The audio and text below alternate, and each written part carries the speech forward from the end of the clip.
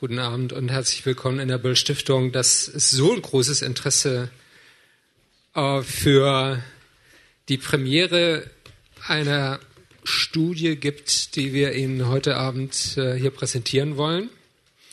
Nutzen statt Besitzen auf dem Weg zu einer ressourcenschonenden Konsumkultur. Das ist ein Dreiklang äh, der Zusammenarbeit zwischen Heinrich Böll Stiftung, dem NABU, als äh, Co-Auftraggeber dieser Studie. Vielen Dank äh, für die wie immer angenehme Zusammenarbeit und dem Wuppertal Institut als der Denkfabrik, in der diese Studie erarbeitet wurde. Auch äh, nochmal ganz herzlichen Dank an die Autorinnen und Autoren. Collaborative Consumption oder gemeinschaftlicher Konsum ist ein neuer Trend, der weltweit im Kommen ist. Dabei spielt das Internet eine ganz wesentliche Rolle. Tauschbörsen helfen dabei, schnell und unkompliziert denjenigen zu finden, der das hat, was ich suche. Mit der Verbreitung digitaler Leih-, Miet- und Tauschmodelle entstehen auch neue Geschäftsformen die sich auf Vertrauen gründen. Das finde ich einen sehr interessanten Aspekt an dieser neuen Ökonomie des Teilens. Vertrauen, dass der andere meine Dinge oder die gemeinschaftlichen Dinge gut behandelt und mich nicht übers Ohr haut, obwohl man in der Regel diesen anderen noch nie vorher gesehen und gekannt hat. Immer neue Internetunternehmen und gemeinnützige Initiativen sprießen aus dem Boden, um diejenigen zusammenzubringen, die tauschen, teilen oder schenken wollen. Und das Time Magazine in den USA hat diese neue Konsumform sogar zu einer der zehn großen Ideen erkoren, die die Welt verändern werden. Dabei sind gemeinschaftliche Nutzungsformen ja nicht ganz neu. Wohngemeinschaften, Bibliotheken, Waschsalons, Mehrwegflaschen, landwirtschaftliche Maschinenringe, Reitpartnerschaften.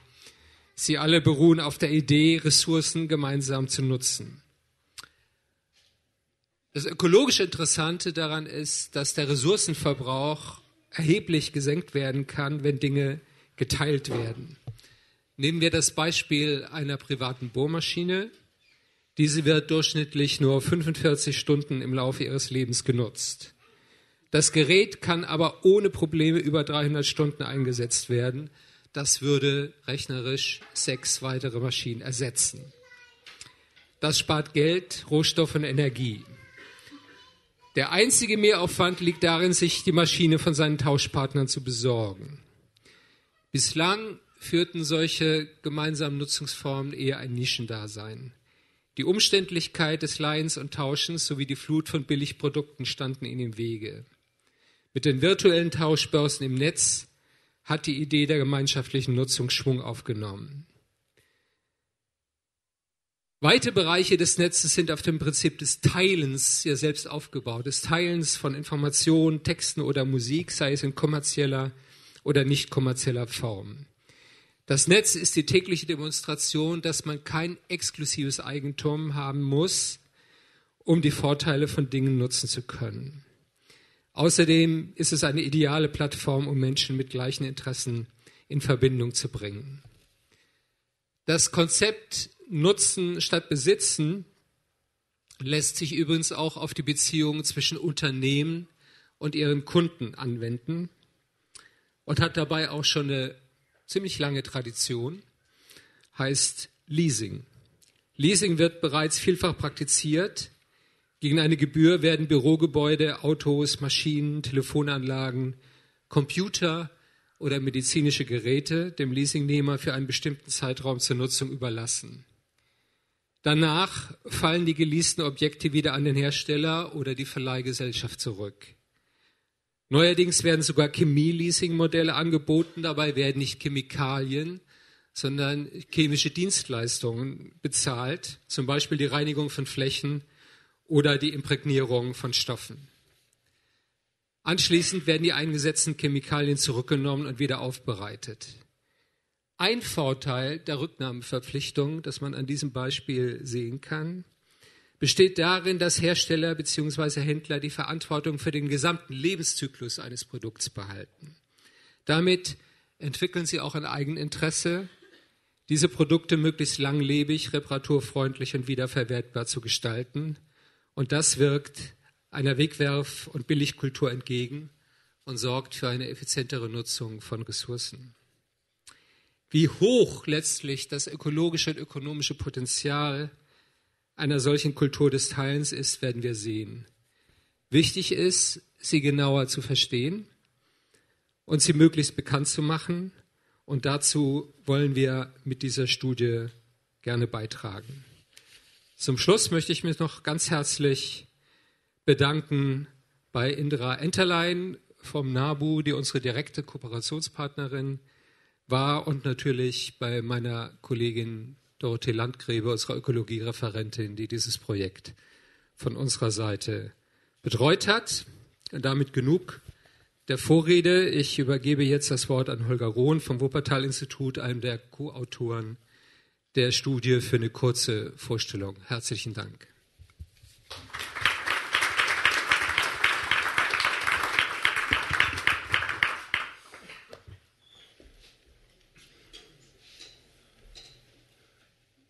Müsste die Technik noch aufschalten. Ne?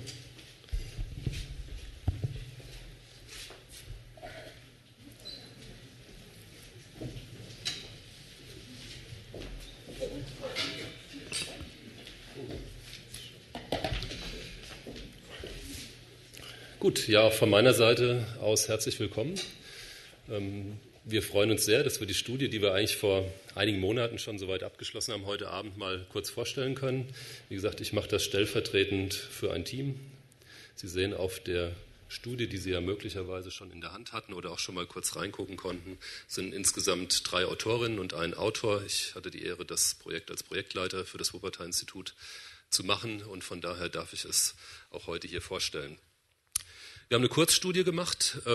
Kurzstudie deswegen, weil es einfach eine relativ äh, kurze, prägnante ähm, Studie sein sollte zu einem Input ähm, für einen aus unserer Sicht auch sehr wichtigen Thema. Das heißt, es ist kein riesiges Forschungsprojekt, was ich hier präsentiere, sondern es sind kleinere Inputs, Einsichten ähm, in Thema exemplarisch vorgetragen. Und ich muss auch sagen, das Team insgesamt ähm, hat aus dieser, selbst aus dieser Kurzstudie eine ganze Menge an Handlungsempfehlungen rausgearbeitet. Aber Sie werden auch gleich sehen, auch eine ganze Menge neuer Fragen aufgeworfen, neuer Fragen mit aufgebracht. Insofern, wir geben nicht nur Antworten heute Abend, sondern wollen insbesondere in eine Diskussion reinkommen, auch mit Ihnen zusammen. Und ähm, vielleicht auch einige Fragen ein bisschen intensiver schon beantworten heute Abend. Wie gesagt, durchgeführt von Ende letzten Jahres bis knapp Mitte dieses diesen Jahres ähm, von den hier genannten Kooperationspartnern, die eben auch schon gefallen sind. Und was wir eigentlich gemacht haben zum Verständnis für sie ist, wir haben uns erstmal angeschaut, was für Darstellungsformen oder was für unterschiedliche Formen von Nutzen statt Besitzen gibt es überhaupt. Die sind gesammelt, die finden Sie ganz hinten in der Studie als tabellarische Übersicht. Und dann haben wir uns im Team zusammengesetzt und haben mal eine Vorbewertung von diesen vielen Dutzend unterschiedlichen Formen gemacht und haben uns dann drei exemplarisch ausgesucht, die wir uns mal ein bisschen näher hinsichtlich ihres möglichen Potenzial an Ressourceneinsparungen angeguckt haben. Zu den drei sage ich Ihnen gleich ein bisschen was, dass Sie so einen Eindruck haben aus der ganzen Bandbreite, die ja eben äh, schon angesprochen wurde, was das alles denn äh, sein kann. Dann haben wir Experten und Expertinnen befragt aus Wissenschaft und Praxis. Wir haben Interviews geführt und gefragt, wie sollte denn eine Kommunikationsstrategie für so ein Thema aussehen ist nicht ganz einfach, aber wir haben tolle Interviewpartner, Partnerinnen gehabt und ich werde Ihnen kurz so ein paar Eckpunkte dazu vorstellen und dann haben wir einige politische Handlungsempfehlungen gemeinsam rausgearbeitet und aber auch eine Vielzahl von Forschungsbedarfen ähm, aufgeschrieben. Ich komme zu den Fallbeispielen. Wir haben lange überlegt, ähm, was wir denn dann wie machen sollten. Wir haben uns dann überlegt, es wäre eigentlich gut, sagen wir, drei typische Anwendungsfälle zu haben, Einmal wäre sozusagen Konsument zu Konsument, also das, was man unter C2C sieht. Ähm, das ist jetzt hier leider, es ist beim Textilientausch äh, eigentlich drin, es sind Fehler in der Präsentation. Ähm, wir haben den Werk Werkzeugverleih, also das, was Sie typischerweise, wenn Sie in den Baumarkt gehen und in manchen Baumärkten vorfinden, dass dort, ähm, dass dort halt eben professionell von einem äh, von einem Unternehmen an Konsumenten Geräte verliehen werden. Das haben wir uns angeguckt und dann der eben auch angesprochene ähm, Teil zum, zu dem, was machen Unternehmen denn eigentlich im Bereich ähm, Nutzen statt Besitzen. Da haben wir mal das Beispiel des Chemikalienleasings und uns ein bisschen näher angeschaut. Ähm, Kleiderkreisel haben wir exemplarisch für den äh, Bereich Konsument zu Konsument uns angeschaut. Da werde ich aber jetzt gar nicht viel zu sagen, weil wir haben ja ähm, den Herrn Huber hier, der sozusagen sein Unternehmen nachher auch noch mal ein bisschen im Detail vorstellen kann. Er hatte mir eben eingangs gesagt, seit Mai äh, oder in diesem Jahr hat sich die Anzahl der Nutzer eh verdoppelt. Also wenn das sozusagen der Trend ist, dass sich innerhalb von Monaten die Nutzerzahl verdoppelt für diesen Bereich, dann ist das sicherlich ein sehr interessanter Aspekt. Ähm, wie gesagt, Kleidertausch haben wir uns, Textilientausch haben wir uns ein bisschen näher angeguckt.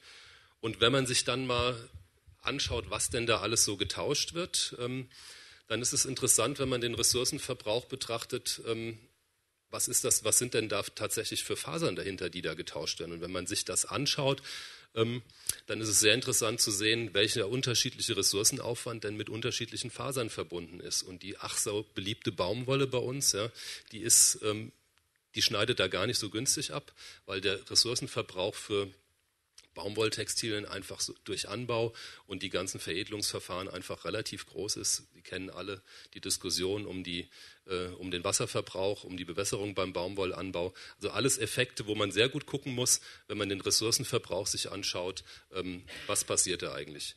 Die Rahmenbedingungen, Anbauort, Anbauart, verwendete Verfahren spielen eine Riesenrolle. Das heißt, man kann nicht einfach sagen, jedes Textil ist im, sozusagen über den gesamten Lebensweg gleich. Es macht sich sehr viel an, ähm, an den Faktoren, was für eine Faserart habe ich denn da tatsächlich fest.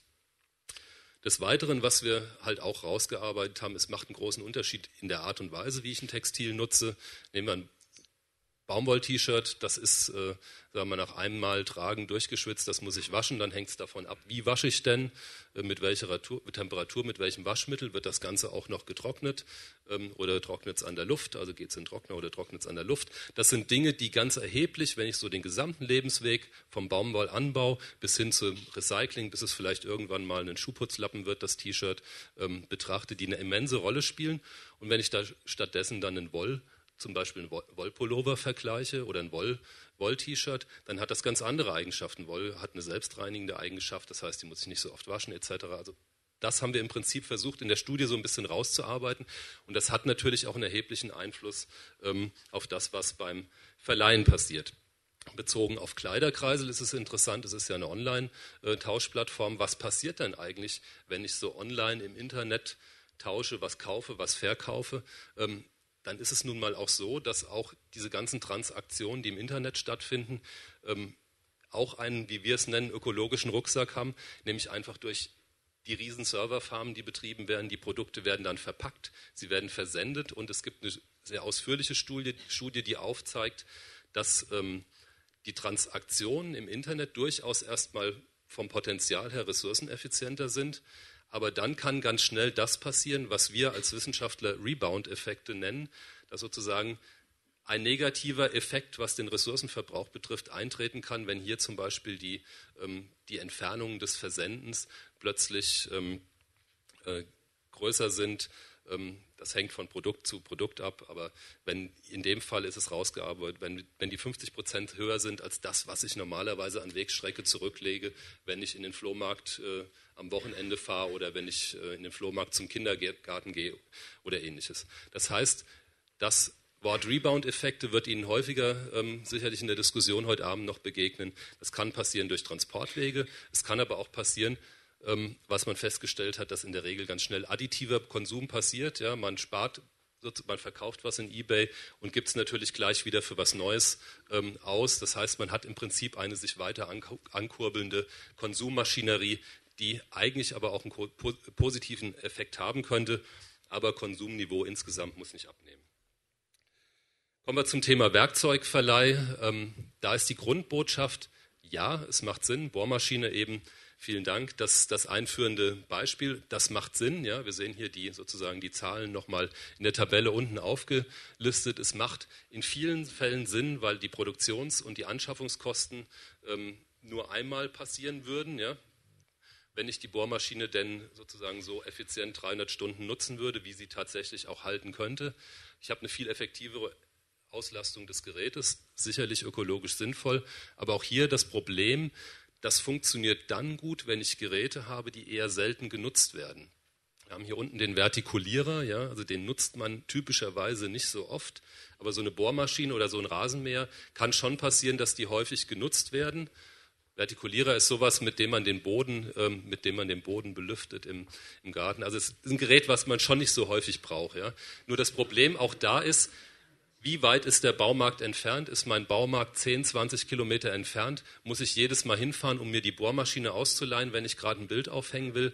Dann habe ich sozusagen das, was an ähm, Aufwendungen entsteht, um mir diese Bohrmaschine auszuleihen, macht dann im Baumarktverleih möglicherweise keinen Sinn mehr. Da müssen wir dann über andere Formen diskutieren, nachbarschaftliches Verleihen und so weiter und so fort. Ja. Also da, Sie sehen, es ist nicht so schwarz-weiß, ähm, dass man sagen kann, Nutzen statt Besitzen per se ist, gibt eine riesen Ressourceneinsparung, sondern man muss genauer hinschauen und genau das finden Sie rausgearbeitet in der Studie ähm, für die genannten Fallbeispiele.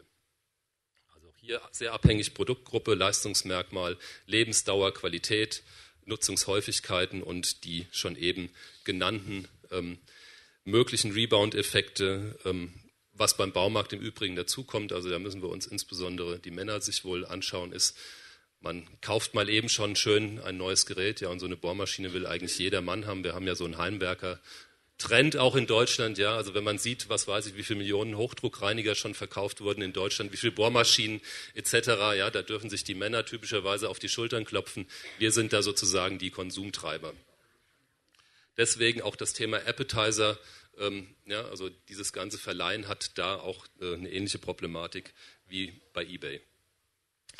Chemikalienleasing, das ist vielleicht was, was für einige auch in den Diskussionen, die wir geführt haben, erstmal so überraschend ist. Es gibt Unternehmen, die machen das schon ganz lange, das ganze Thema Wäscheverleih im, im Krankenhaus, im, in, äh, in Hotellerie, Gaststättengewerbe ist, glaube ich, so was, was man selber kennt. Da ist es ganz normal, da ist es eingeführt, da gibt es tolle Geschäftsmodelle, die funktionieren. Gastronomiebetrieb ist froh, dass er nicht selber waschen muss, genauso in der Hotellerie. Ja. Ähm, beide verdienen daran ganz gut. Ähm, es ist aber in weiten Bereichen der Industrie relativ unbekannt. Und Chemikalienleasing ist so ein eigentlich ganz schönes Beispiel, ähm, wie man ganz schöne Einspareffekte erzielen kann, dadurch, dass Unternehmen die Produktverantwortung, wie Sie es ja schon gesagt hatten, behalten, sozusagen auch das ganze Know-how zur Verfügung stellen. Funktioniert eigentlich prima, ist ein sehr ausgeklügeltes System, was eigentlich vorteilhaft für beide ist, für Kunden und für Verleiher. Problem ist nur, an der Stelle es ist ein, äh, ein Thema, was ganz schwer kommunizierbar ist, wo es extreme Ängste gibt, dass man als Hersteller oder als Nutzer einer Chemikalie plötzlich Know-how aus der Hand gibt, einen Dritten mit im Spiel hat. Also dort gibt es Hindernisse, die man jetzt natürlich aus dem Gastronomiebereich oder Krankenhausbereich beim Wäschewaschen ist der, Know-how-Verlust nicht so riesig groß. Aber wenn ich plötzlich bei Chemikalien, bei Zusammensetzung jemanden in meine Prozesse reingucken lassen muss, ähm, stoße ich auf ganz andere Schwierigkeiten. Deswegen auch hier, man muss bei diesen ganzen Formen von Nutzen statt Besitzen ein bisschen genauer hinschauen. Sie sehen hier die Zahlen, es dürfte sich so eine Größenordnung von ähm, etwa ein Prozent der Anwendungsfälle im Chemiebereich äh, geben, wo sich Chemikalienleasing lohnen würde. Dort könnten etwa 20 Prozent eingespart werden. Also auch dort muss man sich sehr genau angucken, welche Fälle sind es denn, wo lohnt es sich dann.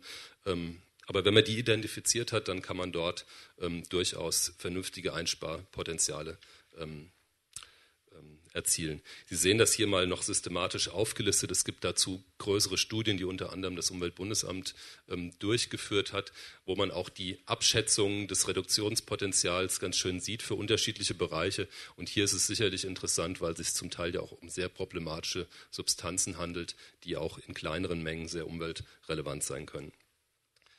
Was wir dann gemacht haben, ist, ähm, und das ist jetzt nun wirklich eine ganz grobe Bewertung, wir haben uns mal angeschaut und so haben wir es in der Studie eigentlich durchdekliniert, die fünf Bewertungsbereiche. Wir haben uns angeguckt, wie ist denn Ressourceneinsatz und Effizienzpotenzial, also das ist das, was Sie oben im roten Bereich sehen, diese fünf Punkte.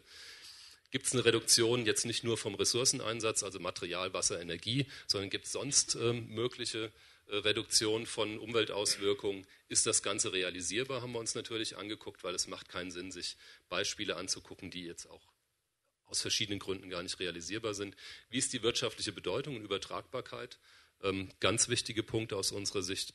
Und ist es auch kommunizierbar? Und all diese Aspekte haben wir betrachtet für die drei ähm, Fallbeispiele, um das mal einzuschätzen. Und Sie sehen insgesamt, jetzt sage ich jetzt mal über den Daumen gezogen, mittlere bis hohe Einsparpotenziale ähm, bei den drei Beispielen, die wir identifiziert haben. Aber wie gesagt, man muss genauer hinschauen. Ähm, wir sehen zum Beispiel bei Kommunizierbarkeit, bei Chemikalienleasing, was ich angesprochen habe, ist ein Thema, was ganz, ganz schwierig zu kommunizieren ist, weil da sehr viel Sensibilitäten seitens der sozusagen der potenziellen Nutzer da sind. Das vielleicht kurz zu den Fallbeispielen. Dann schlaglichtartig einige Punkte aus den ähm, Ergebnissen dieser Interviews, die wir, mit den, die wir mit Wissenschaft und mit Praxis geführt hatten. Ähm, die sind sehr genau dokumentiert in der Studie. Ich will hier ähm, zum Thema, was sind denn, wir haben gefragt, was sind denn zum, für Sie Eckpunkte von einer möglichen Kommunikationsstrategie? Und ich habe jetzt hier nur mal jeweils zwei eingekringelt. Also übergreifende Kommunikationsstrategie Strategie zur Verbreitung der Idee ist extrem hilfreich. Das sehen Sie nachher auch bei den Handlungsempfehlungen. Das heißt, wie kann man denn tatsächlich im Sinne von einer Kampagne oder übergreifenden äh, Strategie überhaupt, wie muss es kommuniziert werden, wie kann man das anlegen, weil die Idee an sich ist jetzt in der, sie ist zwar im Kommen, aber man muss es in, insgesamt mal einordnen, sie ist auch noch nicht so bekannt, ähm, wie sie es verdient hätte. Und was auch eigentlich sehr interessant war, mit Eigentum verbundene Pflichten und Belastungen hervorheben. Also wer vor einiger Zeit vielleicht mal umgezogen ist und gemerkt hat, wie viel sich denn so angesammelt hat, weiß, was äh, mit Eigentum verbundene Pflichten sind, zum, zum Teil auch sind. Und es gibt auch so schöne Bildbände, wo man mal die Familien in, auf der ganzen Welt mit ihrem Eigentum vor die Haustür gestellt hat. Und ähm, also wer dann sozusagen den Eindruck haben will, ähm, was äh, letztlich auch mit Eigentum verbundene Pflichten sind, ähm, hat vielleicht eine Idee davon. Ähm, die Praxis sagt, ähm, mit dem Geschäftskonzept unter anderem Aufmerksamkeit erregen. Das ist, denke ich, äh, ein ganz wichtiger Punkt und was für uns auch eine sehr wichtige Aussage war, mit qualitativ hochwertigen Angeboten überzeugen. Also das, was es lohnt sich, wenn ich in dieses Geschäftsmodell einsteigen will, qualitativ hochwertige ähm, Produkte anzubieten. Nur damit kann ich letztlich am Markt erfolgreich sein. Das heißt, all diese Produkte, die typischerweise Bohrmaschine für 5 Euro, damit brauche ich nicht ähm, sozusagen in den Verleih zu gehen, weil die ist nach drei Mal Ausleihen spätestens kaputt. Ähm, Eckpunkte für eine Kommunikationsstrategie haben wir abgefragt und da kamen eigentlich ganz schöne Antworten raus. Äh, ich will nur mal auf die oben links verweisen. Also die Wissenschaft sagt unter anderem leichter Leben, ressourcenleichtes Leben. Das könnte doch vielleicht ein Motto sein, unter dem man auch Nutzen statt Besitzen ähm, ähm, als schönes äh, Leitbild verkaufen könnte. Ähm, was sehr interessant ist in der in der Einschätzung bei den Kommunikationsstrategien ist, dass sowohl Wissenschaft als auch Praxis das Thema Ökologie und Nachhaltigkeit nicht in der Erstansprache verwenden würden. Hier kommt es auf ganz andere Dinge wohl offensichtlich an. Also war für uns schon ein bisschen überraschend, dass das eigentlich eher so besser im Understatement halten, wenn überhaupt, sondern ganz wichtig ähm, Funktionalität, ähm, Service etc. hervorzuheben, die Qualität des Angebots. Also das ist auch nochmal ein Punkt gewesen. Ich denke, da wird Herr Huber vielleicht auch nachher in der Diskussion ein bisschen was zu sagen, was uns schon ein bisschen ähm, überrascht hat. Also den Kunden überzeugen, wie, dass es sinnvoll ist, dieses, dieses Angebot äh, tatsächlich zu nutzen, das steht eher im Vordergrund, als dass man sagt, hier, lieber Verbraucher, liebe Verbraucherin, jetzt machst du hier was besonders ökologisch Sinnvolles. Also da merkt man doch, dass äh, die Individuen da ähm, erstmal anders angesteuert werden. Ähm, Eckpunkte für Kommunikationsstrategie. Ersten Punkt sehen wir auch gleich wieder, Förderung, Umsetzung von Kampagnen. Da ist sich Wissenschaft und, ähm, und Praxis sehr einig. Ähm, bei der Frage, ähm, wie das dann passieren soll und wie man angesprochen werden soll, ist man sich wieder nicht ganz so einig. Ja, da sagt Wissenschaft eher, zielgruppenspezifische Ansprache ist wichtig. Ähm, das können die Vertreter aus der Praxis, die wir interviewt haben, gar nicht ähm, bestätigen. Aber da sind wir dann auch schon sehr in, die, in, den Details der Studie drin. Also da ist nicht immer der Gleichklang zwischen dem, was Forschung und Praxis sagt. Aber dafür haben wir auch vielleicht den Markt der Möglichkeiten, um das ein bisschen zu näher zu diskutieren. Komme ich zu den Handlungsempfehlungen, dann sind, die sind zusammengefasst auf zwei Folien. Wir haben festgestellt, ähm, obwohl wir uns ja eigentlich am Wuppertal-Institut schon seit 20 Jahren mit dem Thema Ressourceneffizienz äh, befassen, dass ich, wenn ich genauer reinschaue in diese, ganze, in diese ganzen unterschiedlichen Produktbereiche, dass ich tatsächlich hier auch ein Problem habe, die unterschiedlichen Produkte und Varianten von Nutzen statt Besitzen zu bewerten. Es gibt weiterhin keine wirklich umfangreiche öffentlich verfügbare Datenbank, die es erlauben würde, das auch mal quantifiziert einzuschätzen, ähm, was da an Potenzialen erschließbar ähm, ist, insbesondere wenn es dann auch darum geht, was sind Verlagerungseffekte, mögliche Rebound-Effekte. Also da, ähm, da ist sicherlich ähm, dringende Handlungsempfehlung, solche Daten ähm, tatsächlich überhaupt erstmal zu ermitteln. Ähm, interessant ist ähm, das Thema als Handlungsempfehlung wir müssen dieses, dieses ganze Thema, diese, diese ganze Überschrift auch über die Veranstaltung heute überhaupt erstmal als Konsumalternative ins Bewusstsein rücken. Sie ist vielen Personen ähm, so nicht bewusst. Wir haben zwar den Trend, insbesondere jetzt durch verschiedene ähm, Tendenzen, gerade bei den jüngeren, äh, internetaffinen äh, Nutzerinnen und Nutzern, ähm, dass es ins Bewusstsein gerückt ist, aber wir haben ähm, wenn man die Breite der Gesellschaft sieht, ist das Thema aus unserer Sicht noch nicht angekommen. Imagekampagne durchführen, umfassend informieren, aber auch Beratungsangebote, ähm, zum Beispiel für Start-ups. Ja? Also wer kann denn heute in der Unternehmensgründungsphase eine Beratung in Anspruch nehmen, wo das Thema Nutzen statt Besitzen thematisiert ist? Da geht es um ganz andere Aspekte, da geht es um steuerliche Themen, ähm, Finanzierungsthemen, aber das Thema hatte eigentlich gar keinen Platz bislang. Und nicht zuletzt die Frage, wo taucht es in der Bildungslandschaft auf? Nutzen statt Besitzen werden Sie in Schulbüchern, in Lehrplänen etc. kaum finden. Das wäre dann, wenn eher ein Zufall. Also wir kennen uns ganz gut auch so in dieser ganzen Szene der Bildung für Nachhaltigkeit aus. Es ist dort ähm, sicherlich unterbelichtet. Ähm, Kooperationen eingehen, Projekte initiieren ist ein Thema, was wir in ganz vielen Handlungsempfehlungen wiedergefunden haben in den Gesprächen. Ähm, das Thema Vertrauen ähm, ist ja eben in der Einführung auch schon mal als ganz interessant hervorgehoben worden. Es ist natürlich so, umso mehr ich auf Internetökonomie setze, ich kenne die Personen nicht, von denen ich dort was ausleihe, was tausche. Das heißt, es ist, geht auch immer um die Frage, ähm, wie baut sich eine Vertrauensbasis auf? Gibt es ein Bewertungssystem, was mir sagt, darauf kann ich vertrauen? Ähm, also da kommen wir in ein, in ein, Thema rein, wo man auch ganz andere Akteure vielleicht mit ins Boot holen müsste, wie Stiftung Warentest etc., die vielleicht bestimmte Angebote auch auslabeln, sagen, ja, das ist ein gutes oder sehr gutes Angebot. Rechtliche Rahmenbedingungen hatten wir auch äh, unter anderem auf einem Workshop, den wir durchgeführt hatten. Also wie schaffe ich überhaupt Rechtssicherheit sowohl für die, ähm, für die Konsumenten als auch für die, für die Anbieter. Ähm, und dann natürlich ganz klar auch das Thema Staat als ähm, großer Beschaffer. Wie kann ich das Thema ähm, Nutzen statt Besitzen, zum Beispiel Carsharing, auch in, das, in die öffentliche Beschaffung mit integrieren?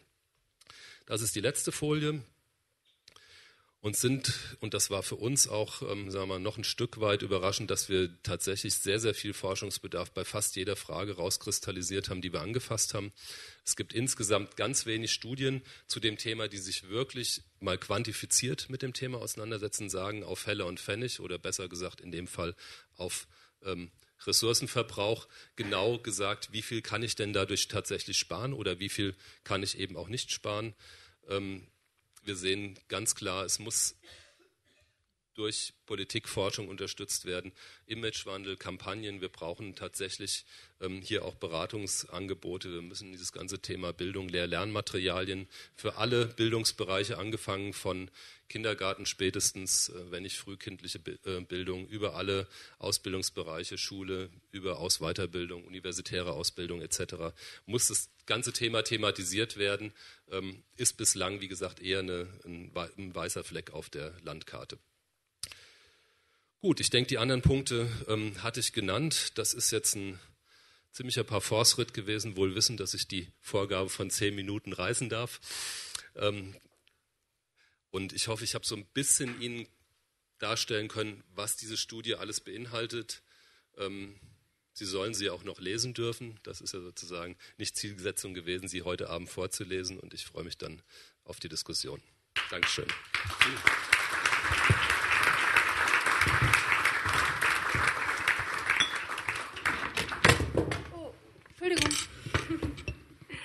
Mein Name ist Julia Fissmann. Ich bin sonst äh, ähm, nicht ganz so clumsy. Äh, vielen Dank, Herr Rohn. Und ich würde Sie gleich aufs Podium bitten. Und zwar lassen Sie bitte den äußeren Stuhl frei, denn wir wollen mit Ihnen zusammen diskutieren. Wir wollen Sie einladen und nicht nur frontal, sondern wir möchten direkt mit Ihnen hier vorne diskutieren. Also das heißt auch alle Initiativen und Institutionen, die sich auf dem Markt der Möglichkeiten vorgestellt haben, können, äh, einzelne Vertreter können eben hier nach vorne kommen und direkt mitdiskutieren. Sie können das auch aus dem Publikum direkt machen, aber wir wollen auch gerne Sie direkt hier nah dran haben. Das ist nicht der einzige hier auf dem Podium. Sie sehen ja die, ähm, nee, Sie sehen sie nicht, weil ich sie runtergeschmissen habe, ähm, die Namensschilder. Hier ist aber auch sehr wenig Platz. Ich würde jetzt noch aufs Podium bitten Herrn Schimker, den Präsidenten vom Naturschutzbund Deutschland.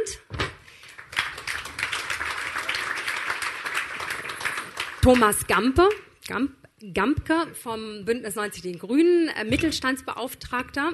Sie können sich dort hinsetzen. Und Martin Huber von Kleiderkreisel, auch schon angekündigt worden. Ähm, da ist, glaube ich, Ihr Schild. Vielleicht nehmen Sie es noch mit. Genau. Machen wir es so.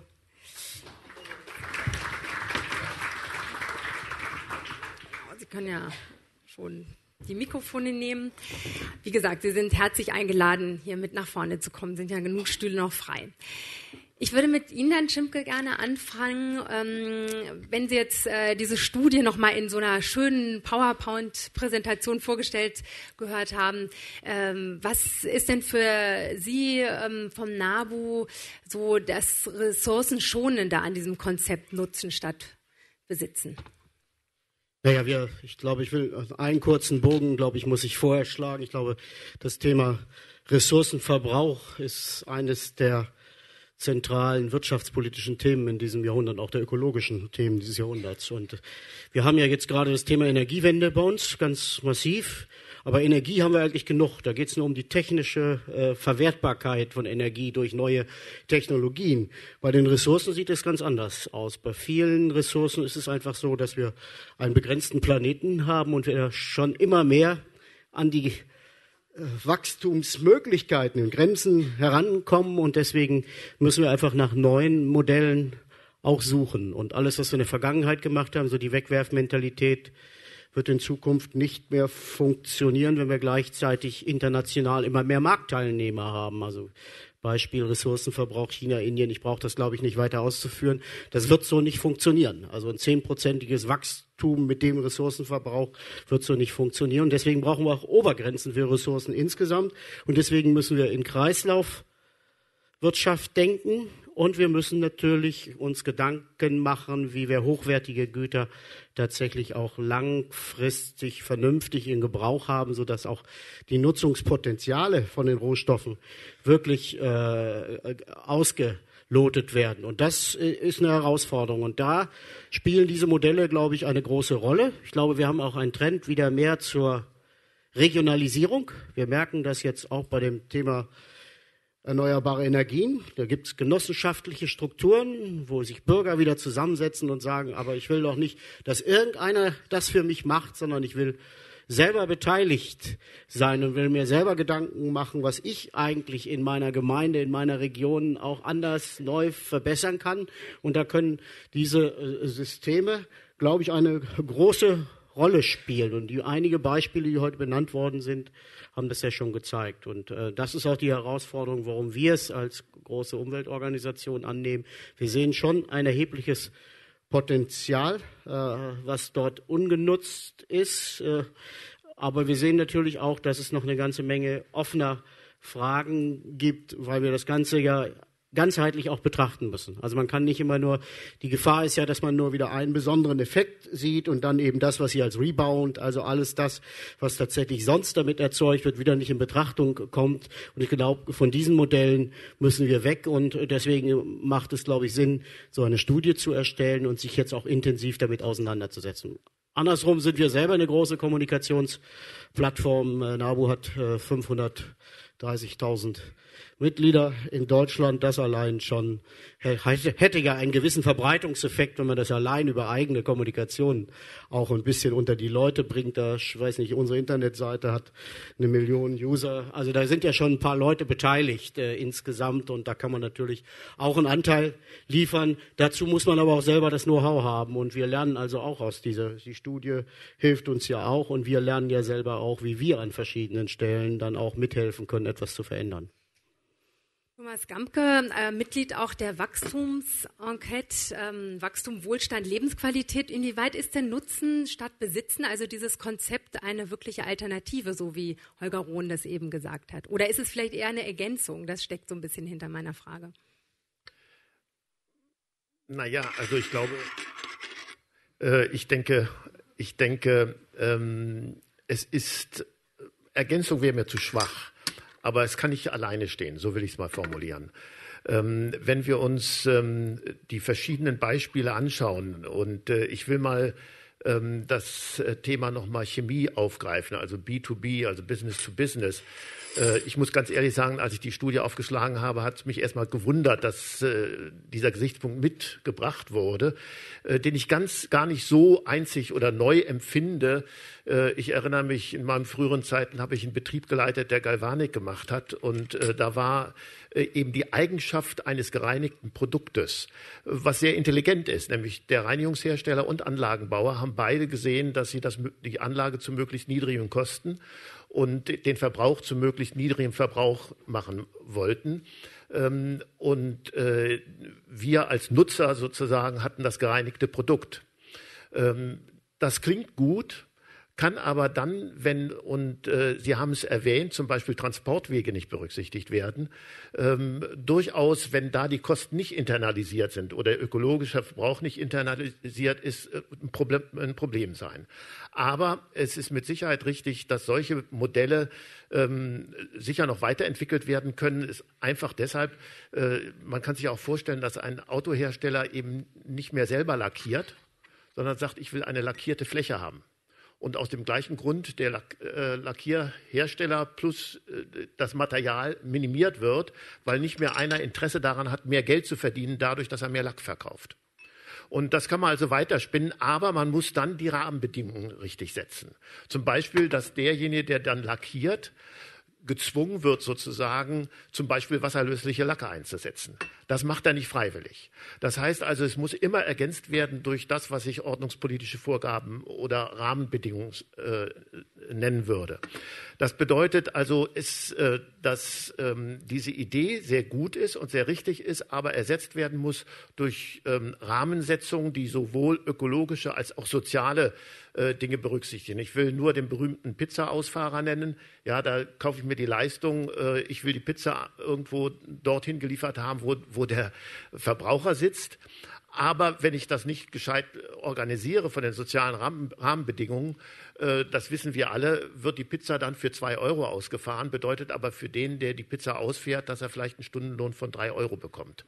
Das Gleiche gilt für das gesamte Reinigungsgewerbe. Ich könnte viele Beispiele nennen, die ohne eine vernünftige Rahmensetzung nicht funktionieren. Also insofern ist das sehr wichtig, dass wir A, die Rahmensetzung haben, aber B, dann eben äh, das äh, zulassen. Ich will vielleicht noch einen Gesichtspunkt, weil er für mich, glaube ich, sehr wichtig ist. Wo kann Politik eingreifen? Politik kann natürlich auch Rahmen setzen. Da war ich ein bisschen unglücklich über Ihr Beispiel, dass Sie die Umsatzsteuer möglicherweise erniedrigen wollen.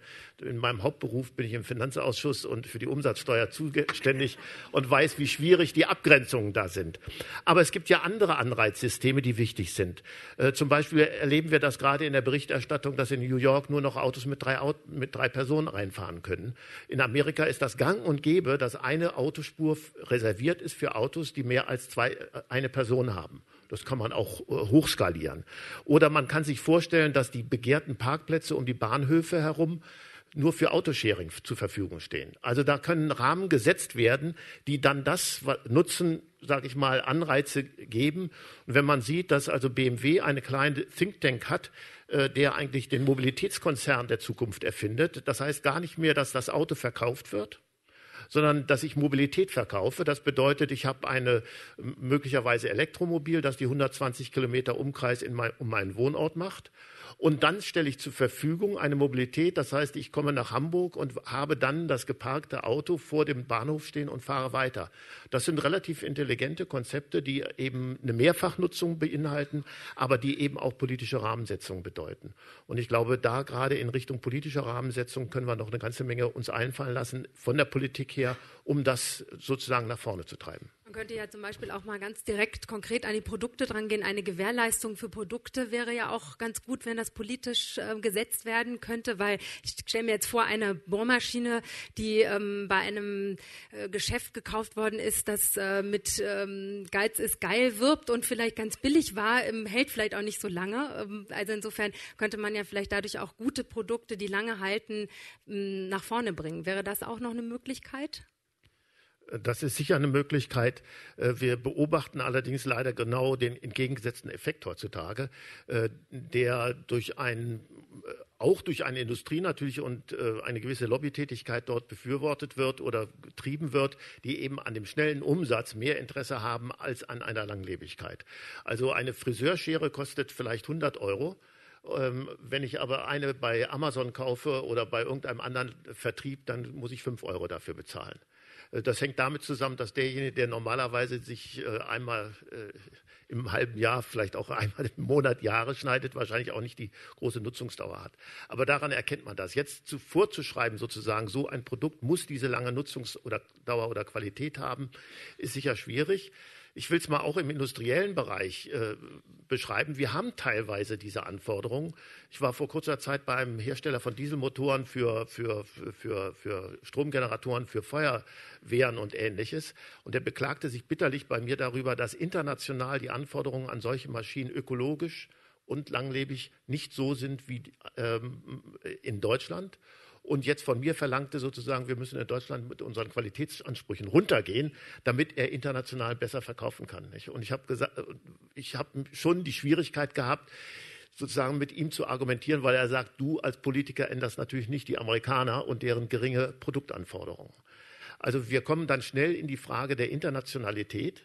Äh, weil alle unsere Produkte, die wir im Konsumbereich herstellen, in der Regel nicht nur auf einem Markt alleine sind. Nur da sage ich ganz bewusst und als Europäer, wir sind in Europa, Europa groß und stark genug und wir könnten eigentlich sowas, was Sie fordern, nämlich Langlebigkeit, durchaus in die, äh, in die Genehmigungen reinschreiben und äh, damit eben auch ähm, für eine Langlebigkeit sorgen. Können wir auch gerne noch weiter diskutieren. Gibt es vielleicht schon Wünsche aus dem Publikum mitzudiskutieren? Ich würde jetzt das ähm, Podium noch mal weiter vorstellen. Und zwar ähm, geht es da ähm, um Kleiderkreisel. Martin Huber, der Gründer von Kleiderkreisel, 2008 in Litauen gegründet, aber 2009 in Deutschland. Und ähm, nun haben wir gerade gehört, die Userzahlen haben sich verdoppelt. Also ich habe von 200.000 Usern gehört. Wie viel sind es mittlerweile? Also mittlerweile sind es 300.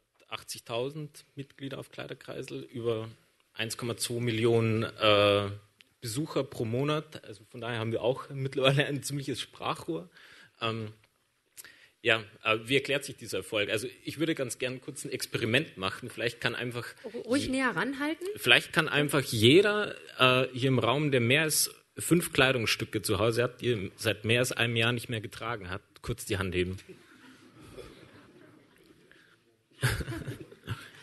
also es gibt einfach einen sehr großen Bedarf bei den Leuten, ihre Sachen wieder loszuwerden, die sie zu Hause haben und die sie nicht nutzen. Und äh, wir haben mit Kleiderkreisel eine Plattform geschaffen, die einfach auch diesen Nerv getroffen hat. Mode wird immer schnelllebiger. Ähm, die Leute kaufen ihre Sachen im Internet ein, wissen dann vorher nicht, ob die Sachen passen, ob sie wirklich das sind, was sie sich vorgestellt haben. Und die Leute haben einfach ihre Kleiderschränke voll und haben mit Kleiderkreis jetzt eine Möglichkeit gefunden, das auch wieder zu Geld zu machen. Also das primäre Interesse, warum sich Leute bei Kleiderkreisel anmelden, ist, äh, wie werde ich mein, meine Sachen wieder los, wie schaffe ich Platz im Kleiderschrank und kann dabei auch noch einen Nutzen draus ziehen. Also entweder gegen etwas Neues zu tauschen oder ein bisschen Kleingeld zu verdienen. Nun gestehe ich, habe ich ähm, Kleiderkreisel auch schon genutzt. Ich bin auch eine der Userinnen und es hat auch sehr viel Spaß gemacht, von weil man sich austauschen kann. Mein kleines Problem war, meine Stiefel, die ich mir irgendwann mal in Rom gekauft habe, habe ich an eine sehr nette Dame, mit der ich dann auch kommuniziert habe, nach Schwabing geschickt. Ich habe mich dann hinterher gefragt, wie ressourcenschonend ist das? Ja, also wie es der Herr Rohnfall schon gesagt hat, ähm, ich denke, es kommt natürlich immer auf die Art des Produktes an, das getauscht wird. Also eine Jeans zum Beispiel wird während dem Produktionsprozess äh, um fast die ganze Welt geschickt. Bei einem kleinen T-Shirt oder einem Kosmetikartikel macht es wahrscheinlich nicht so viel Sinn, das irgendwie durch ganz Deutschland zu verschicken, gebraucht. Aber ähm, was wir denken, wir wollen jetzt nicht mit dem, mit dem Zeigefinger kommen und sagen, ihr sollt nicht mehr konsumieren, sondern wir wollen einen Anreiz schaffen, ähm, dass die Leute umdenken und sagen, bevor ich etwas Neues kaufe, äh, soll ich zumindest äh, prüfen, gibt es bei jemand anders das Ganze nicht schon vorhanden? Muss ich mir wirklich etwas Neues kaufen, wenn es vielleicht der Nachbar oder auch jemand in meiner Stadt oder auch jemand im nächsten Ort für mich hat, genau das, was ich suche, was ich im normalen Handel vielleicht gar nicht mehr bekommen kann. Ähm, Herr Rohn, also vielleicht genau zu dieser Frage auch nochmal, weil ähm, da haben Sie ja doch diese, diesen Vergleich gemacht. Also wie ressourcenschonend ist das jetzt ähm, in einer, in, auf einem internetbasierten Nutzen statt Besitzen Angebot, ähm, eben seine Kleider zu verkaufen oder zu tauschen? Oder ist es vielleicht besser in der Straße im Secondhand-Laden ähm, meine Sachen zu verkaufen oder vielleicht auch zu kaufen? Ich habe es ja vorhin. Nee, ist an. Ist noch an. Ähm, ja, ich habe es ja vorhin schon angedeutet, es macht natürlich Sinn, das möglichst regional zu tun. Also all das, was ich an regionalen äh, Tauschbörsen hinbekommen mit möglichst kurzen Wegen.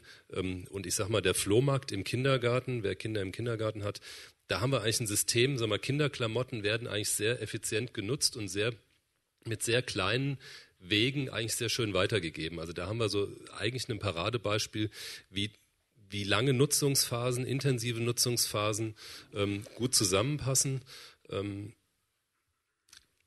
da geht es ganz schnell auseinander, wenn wir, wenn wir die Stiefel quer durch die Republik versenden. Da haben wir ein paar Handlungsempfehlungen noch gemacht, dass man vielleicht Versendeformen bündeln kann. Da kann man natürlich auch einiges an der Logistik machen ähm, bei solchen Internettauschplattformen. Aber vielleicht muss man da auch noch mal einen Blick zurückgehen und wenn man sich bewusst macht, wir haben ja sagen wir gerade in Deutschland das Problem, wir sind Weltmeister im Konsumieren von Bekleidungstextilien. Also Deutschland ist wirklich weltweit ähm, die Nation, wir verbrauchen pro Kopf pro Jahr im Durchschnitt knapp über 20 Kilogramm an Textilien. Das heißt, wir kaufen Unmengen an Textilien neu, wo man natürlich überhaupt erstmal die Frage, das schädigt vielleicht ein bisschen das Geschäftsmodell, Entschuldigung, aber ähm, wo man überhaupt erstmal die Frage stellen muss, brauchen wir tatsächlich so einen immensen Konsum von Bekleidungsartikeln jedes Jahr. Also wenn man das mal international vergleicht, gibt es ganz, ganz viele auch westliche Industrieländer, die einfach mit wesentlich geringeren Mengen auskommen. Ähm, das würde vielleicht ein bisschen die Zuwachsraten von Kleiderkreisel reduzieren, wäre aber sicherlich ökologisch ähm, sinnvoll, weil so viel kann ich gar nicht über Kleiderkreisel tauschen, ähm, wie da in der Produktion schon investiert wird. Und ich sag mal, jedes T-Shirt im Sinne auch von Nutzen stiften, ja. Ähm, ich will ja sozusagen mit einem Kleidungsstück einen bestimmten Nutzen auch erfüllen. Ähm, ich kann, ich kann den gar nicht erfüllen, weil ich einfach so viel Zeug im Kleiderschrank im typischen Deutschen habe. Ähm, das kann gar nicht so viel Nutzen stiften. Oder ist das so schwere Kleidung? Also wenn man mal überlegt, dass es in Skandinavien ein bisschen kühler im Winter wird und dort die Mengen deutlich geringer sind, glaube ich, ist das eher eine...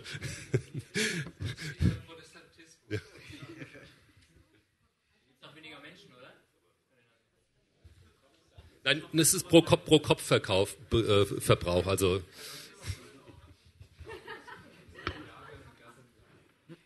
Ähm, naja, das Interessante finde ich aber, bei Kleiderkreisel geht's ja, da gibt's ja auch ein Diskussionsforum, also das heißt, man tauscht sich eben auch aus über Trends, über Stil. Und ähm, es gibt ähm, ja auch einen Trend, es heißt ja mittlerweile nicht mehr Secondhand, sondern Vintage, also das heißt, man kauft eben ganz bestimmte Kleidungsstücke vielleicht aus den 70er Jahren und ähm, ergattert dann eben, weiß ich nicht, die Levi's 501, die schon John Wayne getragen, weiß was ich, also irgendwie ganz tolle Sammel Sammelstücke oder sowas.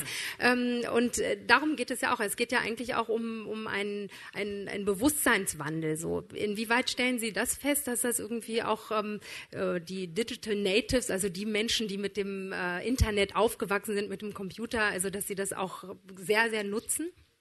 Also kurz noch zu diesem Vintage-Begriff. Wenn man jetzt die Suchfunktion auf Kleiderkreisel bedienen würde, würde man wahrscheinlich zu der Erkenntnis gelangen, dass sicher 50 Prozent der Artikel äh, mit Vintage bezeichnet werden, aber vielleicht vom letzten Sommer aus der Kollektion sind. Ähm, Etikettenschwindel, da, da, müssen Sie auch was gegen tun.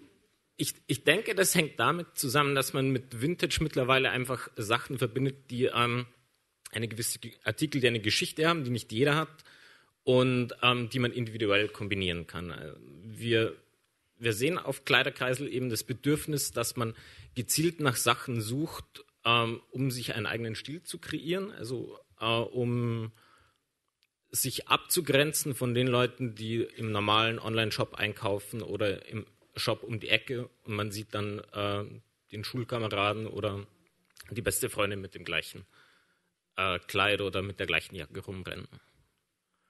Ähm, also Neid den man verhindern will, treibt einen zum Kleiderkreisel.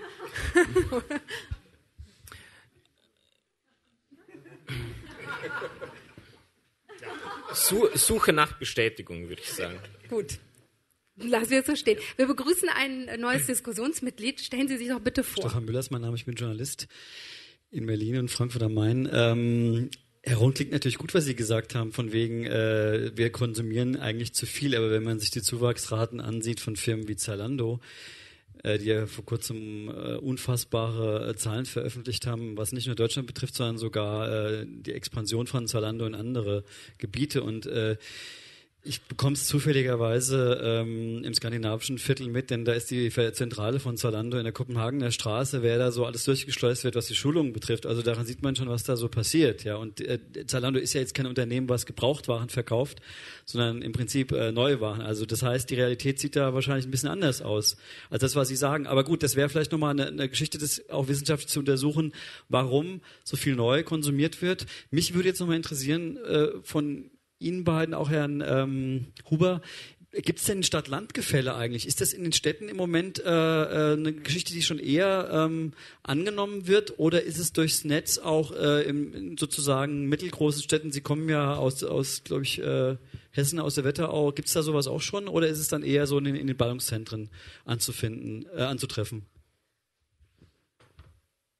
Also kurz zu Kleiderkreisel. Wir sind durchaus über, äh, über Städte groß geworden weil wir über Modeblogger groß geworden sind. Also bei uns war es so ein durch Mundpropaganda, dass sich äh, die ersten Modeblogger bei uns registriert haben.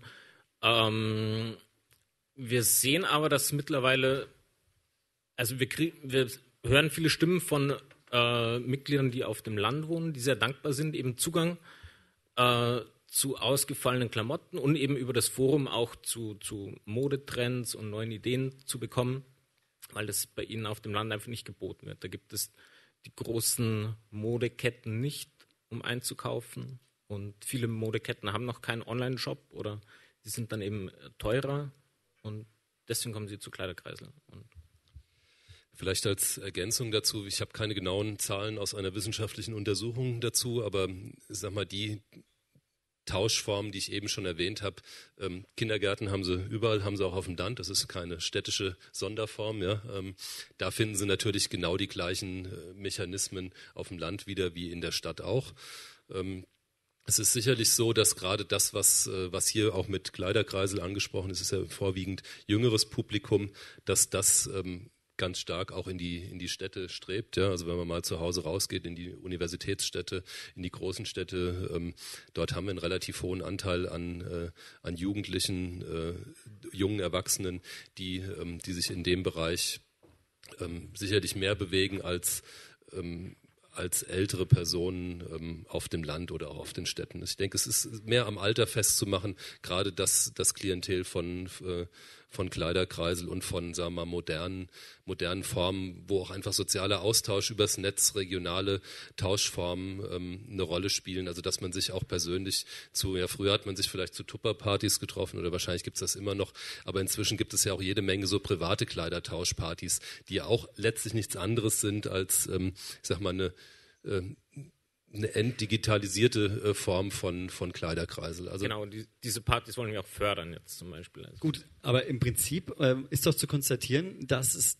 obwohl diese Phänomene existieren, ja trotzdem noch auch Neuware konsumiert wird. Das heißt also im Prinzip, das was ich vorhin gesagt habe mit Zalando, also es wird ja, es nimmt ja offenbar jetzt äh, der Konsum von von neuen Sachen nicht deshalb ab, oder?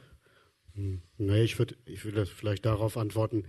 Natürlich ist das so. Deswegen haben wir ja äh, hier versuchen wir ja auch Wege aufzuzeigen, dass man das anders zukünftig machen muss. Ich glaube einfach, dass es schlichtweg nicht so weitergeht. Zalando wird ja nicht dazu führen, am Ende vielleicht auch nicht dazu führen, dass mehr von Kleidung und Schuhen verkauft wird, sondern wird nur andere verdrängen. Das ist ja ein Verdrängungswettbewerb. Das wird der Einzelhandel, den Schuhhandel wird es dann klassischerweise so nicht mehr geben. Das haben wir ja in anderen Branchen auch gehabt. Das ist ja nicht unbedingt äh, ein Zugewinnen an äh, persönlicher Beratung und ähnliches, sondern das ist ein Verdrängungswettbewerb. Äh, und hier, glaube ich, äh, und ich wollte das nochmal auf die Regionalität. Die Regionalität hat aber auch viele Vorteile. Man kann vieles über das Internet machen, aber wenn ich da mal gerade an die Tauschbörse für, für die ganzen elektrischen Geräte in einem Dorf, da kennt man sich noch. Und das ist natürlich völlig einfacher, da den Rasenmäher und alles, den Vertikutierer und die wir da so alle benannt haben, die Bohrmaschinen, könnte man in einem dörflichen Gemeinschaftshaus lagern und sich gemeinschaftlich ausleihen. Da bräuchte man für das ganze Dorf nur drei Bohrmaschinen. Und zwar dann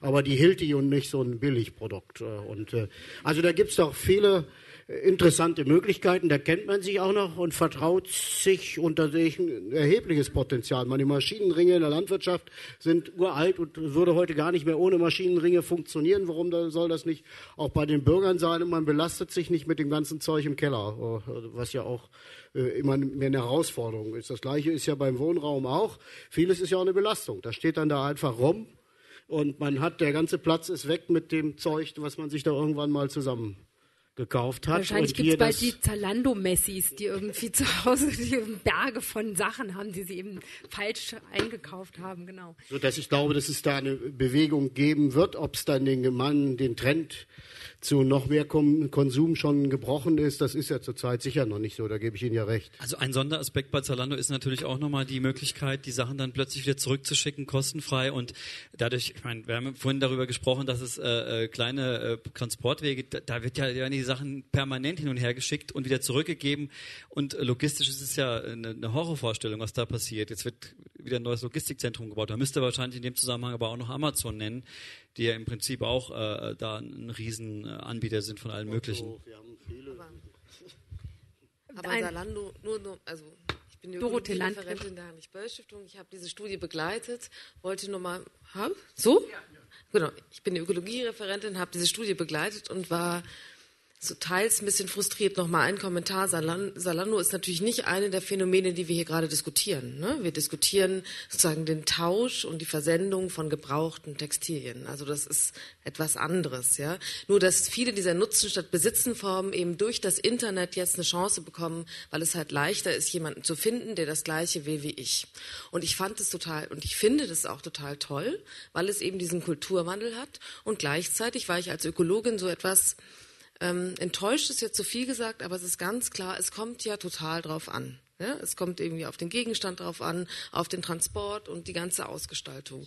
Und jetzt frage ich mich, wie kann ich das gestalten, dass es eben ökologisch Sinn macht? Und deswegen war es auch eine Frage jetzt, wir haben ja ganz viele Leute, die sich damit beschäftigen, auch sich nochmal hierher zu setzen, weil eine Umkreissuche zum Beispiel im Internet wäre ja so eine Möglichkeit. Das muss ich nur nutzen. Ich muss ein Bewusstsein dafür haben, dass es Sinn macht, das zu machen. Und in der Kommunikation kam raus, Ökologie ist kein Thema. Ja, und sollte auch nicht zum Thema gemacht werden. Das war noch viel frustiger. Ja. Und ähm, sozusagen im Sinne von äh, vielleicht als als zweite Botschaft für diejenigen, die dafür ohnehin schon sensibilisiert sind, vielleicht. Ja. Das macht mich als Ökologin traurig. Ne? Und die Frage ist jetzt, ähm, und das ist wirklich an alle, die hier sind, auch von den Ideen, es kann ist Ökologie tatsächlich kein Thema? Wie kann es zum Thema gemacht werden? Und wie kann man gemeinsam daran arbeiten, dass dieses Nutzen statt Besitzen tatsächlich das Potenzial entfaltet, was es hat? Aber es kommt eben darauf an. Die Rahmenbedingungen stimmen und die Art und Weise, wie ich das tausche und mache. Und das ist meine Fragestellung, die ich eigentlich an alle habe und die ich auch hier habe sozusagen, weil es ist ein geiles Phänomen, sage ich jetzt mal. Es ist total super, dass immer mehr Leute da Lust drauf haben, aber es ist eben ökologisch noch nicht 1A. Ja. Deswegen Aufforderung, sich hier hinzusetzen, auch wenn es komisch ist am Anfang. Ja, gerne, auch von den, von den Markt der Möglichkeiten Initiativen. Ähm, da fällt mir so eine Frage ein, auch so, ähm, wie kann man denn vielleicht auch das Image von Nutzen statt Besitzen ein bisschen aufpolieren? Also ähm, ähm Beispiel von Kleiderkreisel fällt mir eben ein, äh, da habe hab ich jetzt diesen Begriff Vintage gesagt, aber es ist ja nun wirklich was Schönes irgendwie, wenn man ein, ein einzigartiges äh, Kleid oder schöne Schuhe findet von einer Person, die, mit der man dann auch Kontakt hatte und sich ausgetauscht hat, wo sie die vielleicht gekauft hat. Ähm, also wie, wie, schafft man sozusagen aus Ihrer Erfahrung heraus so das Image ähm, so zu fördern von diesem Tauschgeschäft? Wir haben natürlich den großen Vorteil, dass wir in einem Bereich tätig sind, äh, der sehr, sehr imagebeladen ist. Also Modegeschäft lässt sich einfach sehr leicht kommunizieren. Jeder äh, hat irgendeinen Bezug zu Mode, trägt Kleidung. Das ist ganz was anderes, als jetzt jemanden über Chemikalienleasing aufzuklären. Ähm, und was wir natürlich auch machen, ist eben, wie ich schon gesagt hatte, nicht mit dem erhobenen Zeigefinger zu kommen, irgendwie, ähm, du sollst dich einschränken, du sollst weniger äh, konsumieren, sondern wir versuchen eben die ganzen Vorteile aufzuzeigen, die es bringt, seine Kleidung zu tauschen, äh, Ressourcen weiterzugeben, gebrauchte Kleidung von anderen Leuten zu kaufen, weil es hat tatsächlich nur Vorteile. Also die Klamotten sind einfach günstiger, als wenn ich sie neu kaufe. Ich kann Geld verdienen, ähm, wenn ich meine Kleidung, die ich nicht nutze, weitergebe. Und ich kann sogar völlig umsonst äh, meinen ganzen Kleiderschrank tauschen, indem ich einfach kostenlos mit jemand anders tausche. Nun frage ich mich, wenn ich die Frage einfach mal an Sie stellen kann, ähm, äh, ein, ähm, eine Bohrmaschine zum Beispiel ist dann ja doch so ein bisschen so ein Statussymbol für einen Mann. Also ich frage mich gerade, ob man gerne seine Bohrmaschine mit den ganzen unliebsamen Nachbarmännern teilen möchte. Die gute Hilti oder die Bosch.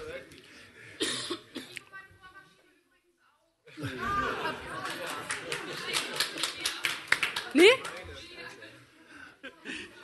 Also diese, diese psychologische Sperre manchmal äh, des Nicht-Besitzens, sondern nur Nutzens äh, zu überwinden.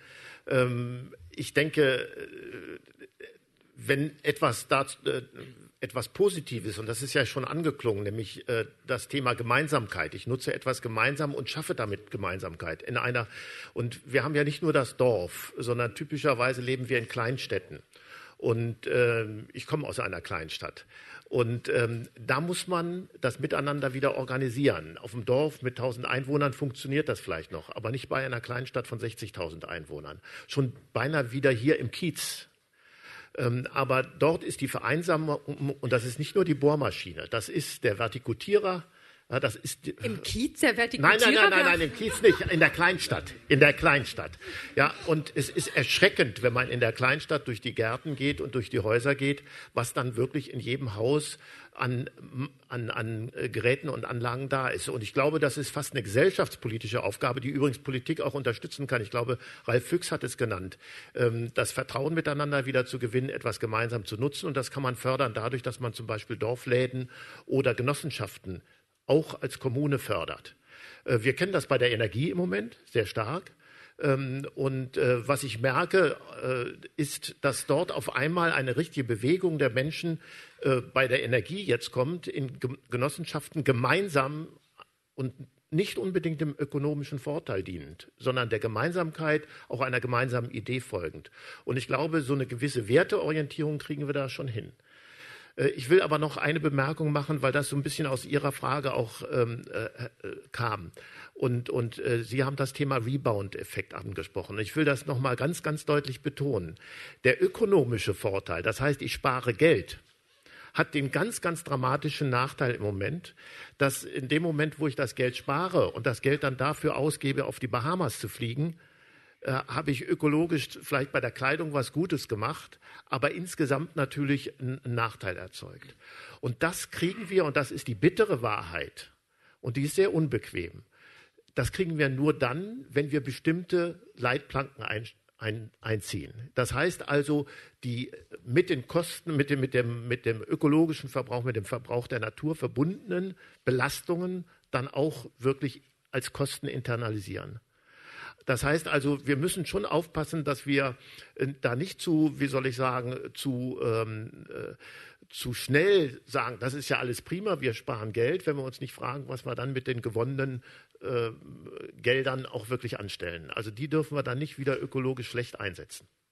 Genau, aber nach dieser Logik müssten Sie dann auch ähm, Hybridautos wieder vom Markt nehmen, weil mit denen sparen Sie auch Treibstoff ein, das dann wieder anderweitig ausgegeben werden könnte. Es ja, ist sage ja nicht, dass das vom Markt genommen werden muss, sondern ähm, ja. Das Thema ist so, dass das 3-Liter-Auto leider da nicht dazu geführt hat, dass wir weniger Sprit verbrauchen, sondern mehr, weil es auf einmal in Anführungsstrichen billiger geworden ist und auf einmal die Laufleistung sich erhöht. Ja, die Frage ist, muss ich immer neue Straßen bauen, damit immer mehr Leute Autos fahren können? Ja, da sage ich als Grüner, das muss ich nicht unbedingt. Wir begrüßen ein neues Diskussionsmitglied. Stellen Sie sich bitte vor. Ja. Äh, Christian Piepenbrock auf dem Markt der Möglichkeiten. Hier draußen vertrete ich ein Nachbarschaftsauto. Äh, wir machen Co-Konsum, wo Leute ihr Auto teilen im Carsharing, aber äh, auf die Art und Weise, dass die eine Hälfte unserer Mitglieder ihre Privatautos, die 23 Stunden am Tag im Schnitt in Deutschland eh nur rumstehen, zum Verleih anbieten und die andere Hälfte unserer Mitglieder leiht dann die Autos, wie üblich im Carsharing. Äh, ich bin jetzt eben nach vorne gekommen bei der Diskussion über das Thema, ähm, äh, was ist eigentlich mit Besitz verbunden äh, jenseits vom Nutzen. Äh, wir haben als größte Hürde zu Anfang gehabt, dass Leute gesagt haben, die Deutschen verleihen ihr Auto nicht. Äh, das funktioniert sowieso nicht. Also Autos leihen ja, Mietwagen gibt es schon lange und Carsharing auch, aber verleihen tut es nicht.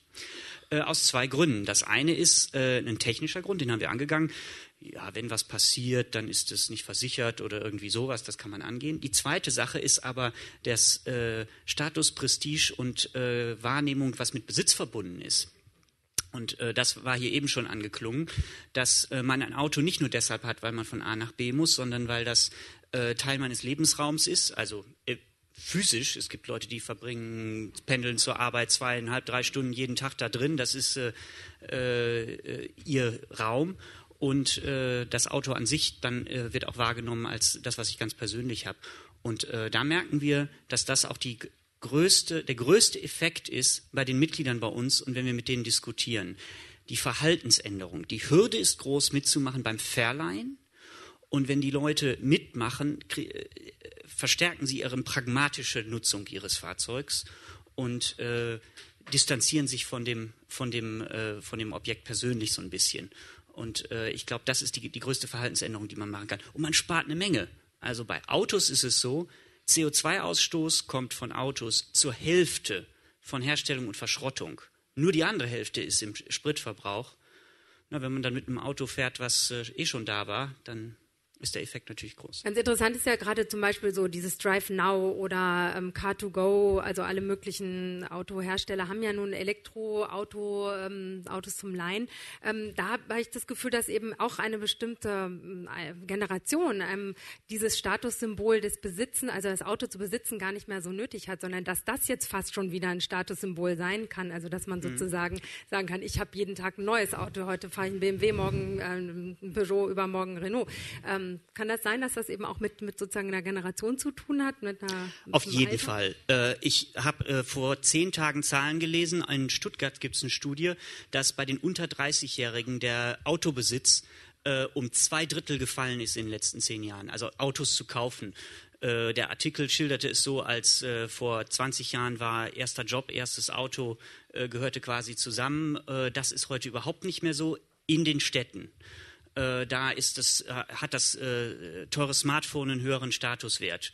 Äh, ich kenne Autohersteller in der Nähe von Stuttgart, deren ganzes Geschäftsmodell auf Status beruht und denen wahrscheinlich, äh, ähm, die sich wahrscheinlich große Gedanken machen, was da draus wird. Es hat ja auch was mit Praktikabilität zu tun. Also ich wohne in Prenzlauer Berg und ähm, ich, man kann da gar eigentlich gar kein eigenes Auto mehr haben, weil man findet keinen Parkplatz. Man braucht ungefähr doppelt so lange, ähm, wenn man sozusagen zurückgekommen ist nach Hause, um einen Parkplatz zu finden. Insofern muss man sich das schon zweimal überlegen. Ähm, ich würde bitten den nächsten äh, Diskussionsteilnehmer, dass er sich vorstellt. Ja, Frank Gerhardt ist mein Name. Und ähm, einerseits bin ich ein Grüner, aber andererseits arbeite ich auch, und das passt gerade zu dem Vorgängerthema hervorragend, in der Konzernstrategie der Deutschen Bahn. Und wir beschäftigen uns sehr intensiv mit dem Thema, wie wir das nennen, Jugend ohne eigenes Auto. So, und ähm, versuchen herauszufinden, was da passiert. Also diese Studie aus Stuttgart, die ist ganz aktuell, das ist die erste Zahl, die wir kennen zum Thema äh, junge Leute in der Stadt. Ja? Also minus 70 Prozent in den letzten zehn Jahren Autobesitz in Stuttgart, in Daimler Town immerhin. Ja? Allgemein auch minus 8 Prozent insgesamt in Stuttgart alle Menschen. Berlin ist da übrigens ganz vorn. Berlin ist die autoärmste Stadt der reichen Welt. Die autoärmste Stadt der reichen Welt. Also Lagos in Nigeria hat weniger Autos, aber und die Tendenz ist ständig sinkend. Und es geht noch weiter. Die Zahl der S-Bahn-Fahrgäste, S-Bahn ist eine Tochter von uns, gerade nicht im perfekten Zustand. Die Zahl der S-Bahn-Fahrgäste, die steigt jedes Jahr, auch in den letzten vier Jahren. Das merkt Sie wissen, man was da passiert gesagt. ist. Ja, ja, aber Sie wissen, was da passiert ist. Also sozusagen, davor hatten wir Jahressteigerungsraten von fünf Prozent pro Jahr. Die sind etwas zurückgegangen. Ne? So, also da ist schon einiges im Gange. Aber nochmal zu dem Thema Jugend ohne eigenes Auto. Ich finde das bei der Problemlage hier unglaublich interessant. Also erstmal, weil die Autos so groß und rohstoffverzehrend sind. Ja, also das sind ja nun wirklich gigantische Dinger. Ja, die Autoindustrie weltweit plant im Moment eine Verdoppelung der Autozahlen in den nächsten zwölf Jahren von einer Milliarde auf zwei Milliarden. Und wenn wir dann 2050 neun, zehn Milliarden auf der Welt sind, sollen es fünf Milliarden sein oder vielleicht auch sechs oder sieben, je nachdem, wie die so die Flugzeugindustrie plant übrigens eine Verdreifachung ihrer Flugzeuge. Selbst in Deutschland verplant die eine Verdoppelung. Mit welchem Öl die die betreiben wollen, ist uns völlig unklar. Das glauben wir gar nicht. Aber ich wollte noch was sagen zum Thema, ähm, sozusagen, wir gucken uns, wir versuchen auch herauszufinden, woran das liegt. Dieses Phänomen, noch dazu im Autoland Nummer eins der Welt, Deutschland. Junge Leute haben kein eigenes Auto mehr. Die haben auch kein Interesse daran. Die haben übrigens nichts gegen Autofahren. Ja, die haben was gegen Autobesitzen. So. Und wir haben diverse Gründe untersucht, die nicht, die nicht funktionieren. Also die haben zum Beispiel nicht weniger Geld. Die Durchschnittsbevölkerung, das sinkt zwar das Einkommen, aber bei den jungen Leuten bleibt es etwa gleich in den letzten zehn Jahren. Die haben, es gibt einen gewissen Effekt vom Semesterticket, aber das sind relativ kleine äh, Anteile an der Bevölkerung, die Studenten. Die sind natürlich mentalitätsmäßig wichtig und so. Ne? Aber so, und was dann übrig bleibt, ist eine Verhaltensänderung. Und aufgrund der Diskussion habe, habe ich mir angeguckt, also sozusagen, ich glaube, man braucht drei Voraussetzungen, bis es dazu kommt, dass jemand ablässt vom Besitz.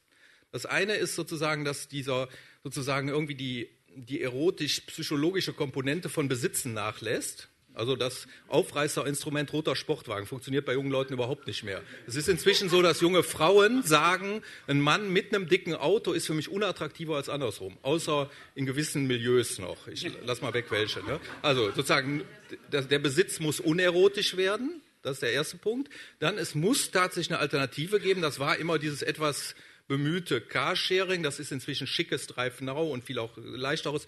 Aber auch Flink nicht zu vergessen. Ich weiß nicht, wer das kennt. Flink mit C, sehr empfehlenswert. Das ist so eine Art Echtzeit-Online-Mitfahrzentrale. Also man sitzt im Auto, nimmt jemanden mit, der gerade so mitfahren will und so. So. Und das dritte ist dann irgendwann aber auch Zwänge. Ich glaube, die müssen auch sein. Sonst ist das eher nur eine Möglichkeit. Und die Zwänge beim Thema Auto sind halt, es war noch nie wirtschaftlich sinnvoll für die allermeisten Menschen, ein privates Auto zu haben. Die Dinger werden nie benutzt. Das konnte man sich halt leisten und es war eben irgendwie erotisch. Aber vernünftig war das noch nie. Und wir haben immer vorgerechnet als Bahn, es ist total vernünftig, in öffentlichen Verkehr zu benutzen. Viel billiger und alles, sagt auch der ADAC inzwischen, alles fein. Aber es gab da so einen Grund. Ne? So. Und jetzt, diese junge Generation hat offenbar dieses erotische Verhältnis zum Besitz nicht mehr. Dann funktioniert plötzlich die Vernunft. Und dann ist plötzlich multimodal und ab und zu mal ein Auto und so angesagt. Ja? Und deswegen glaube ich, bei anderen Dingen, die nicht so super hochpreisig sind wie Autos, brauchen wir halt dringend Ölverknappung, Rohstoffverknappung, die richtig zuschlägt. Und die wird relativ bald kommen. Also beim Öl sind wir uns ziemlich sicher, also ich empfehle da auch Internationale Energieagentur, ganz unverdächtiger Laden, der ankündigt, wie stark sich das Öl verknappt. Jetzt gerade noch vielleicht zum Abschluss noch, ich höre gleich auf, ja. Herr Obama hat gerade noch, der jetzt glücklicherweise wieder Präsident ist, hat gerade noch in der Wahlkampfrede sich getraut, den Amis auch zu sagen, die jetzt wieder von Öl im eigenen Lande reden.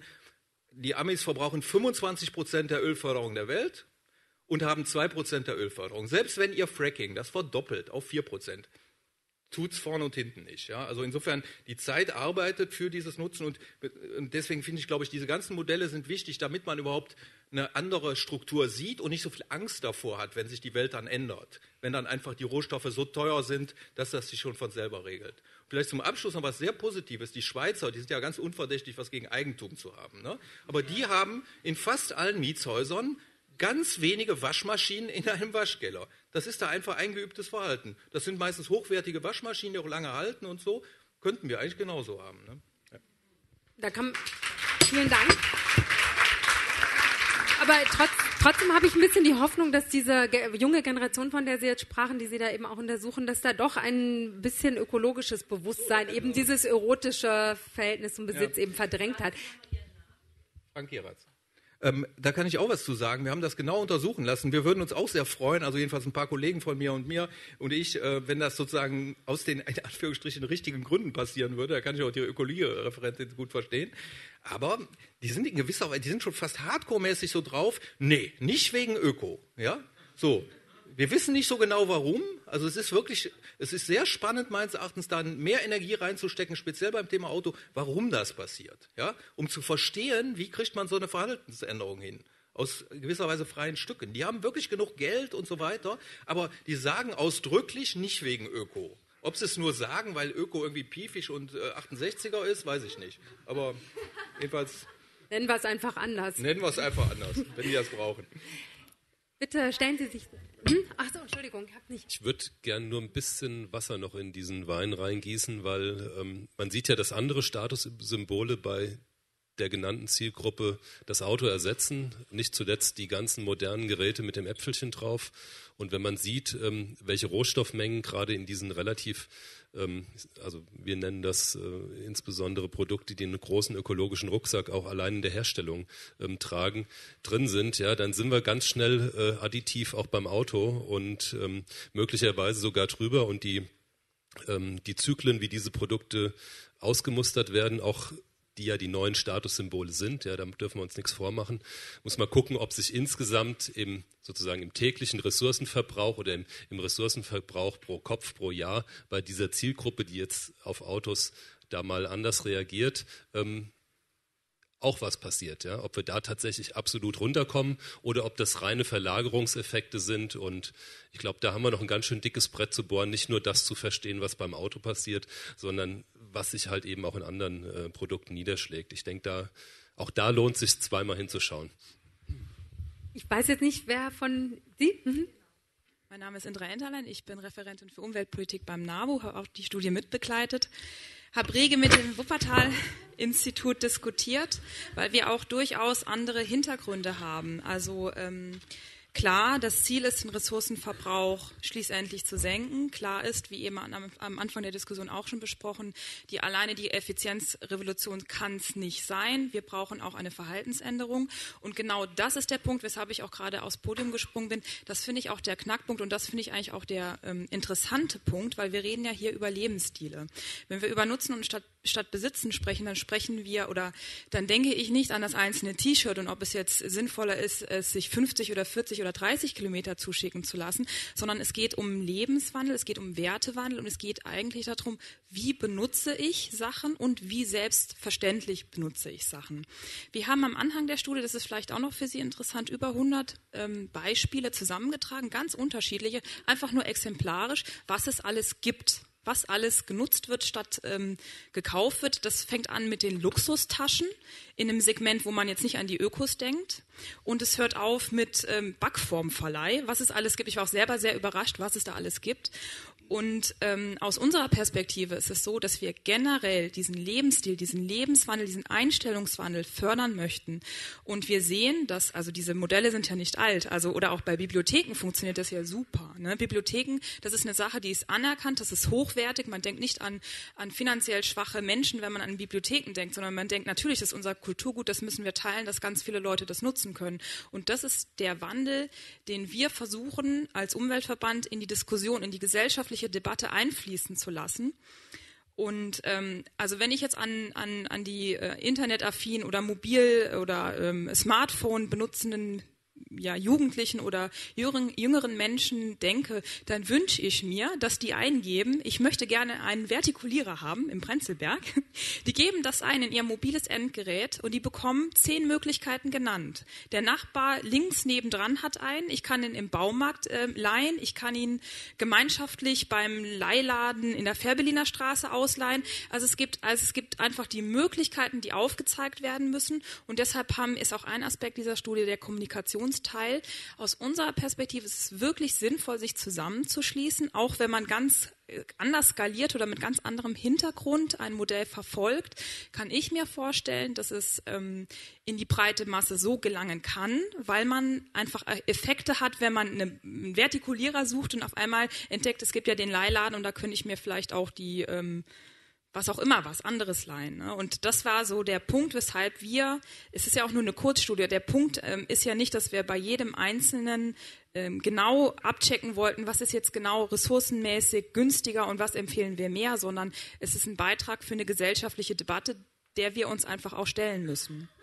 Und dann trifft man sich immer sonntags im Volkspark Friedrichshain zur Vertikutierer-Gruppe zum Beispiel. Und dann Beispiel. macht man da ein bisschen Luft in das Gras. Das ist doch eine schöne Vorstellung. Zum Beispiel. Ja. Also ich wollte dazu nur kurz sagen, äh, die technischen Möglichkeiten dazu, die gibt es bereits. Also es gibt, mir fallen auf der Stelle drei Mobile-Apps ein, die du dir auf dein iPhone laden kannst, mit denen du genau das machen kannst.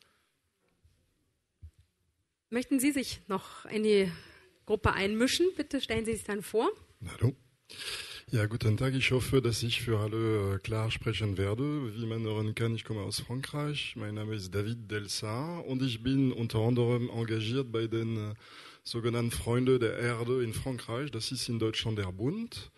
Und äh, ich bin dort, äh, dort für äh, Fragen mit sozialen Netzwerken und auch Innovation äh, beschäftigt.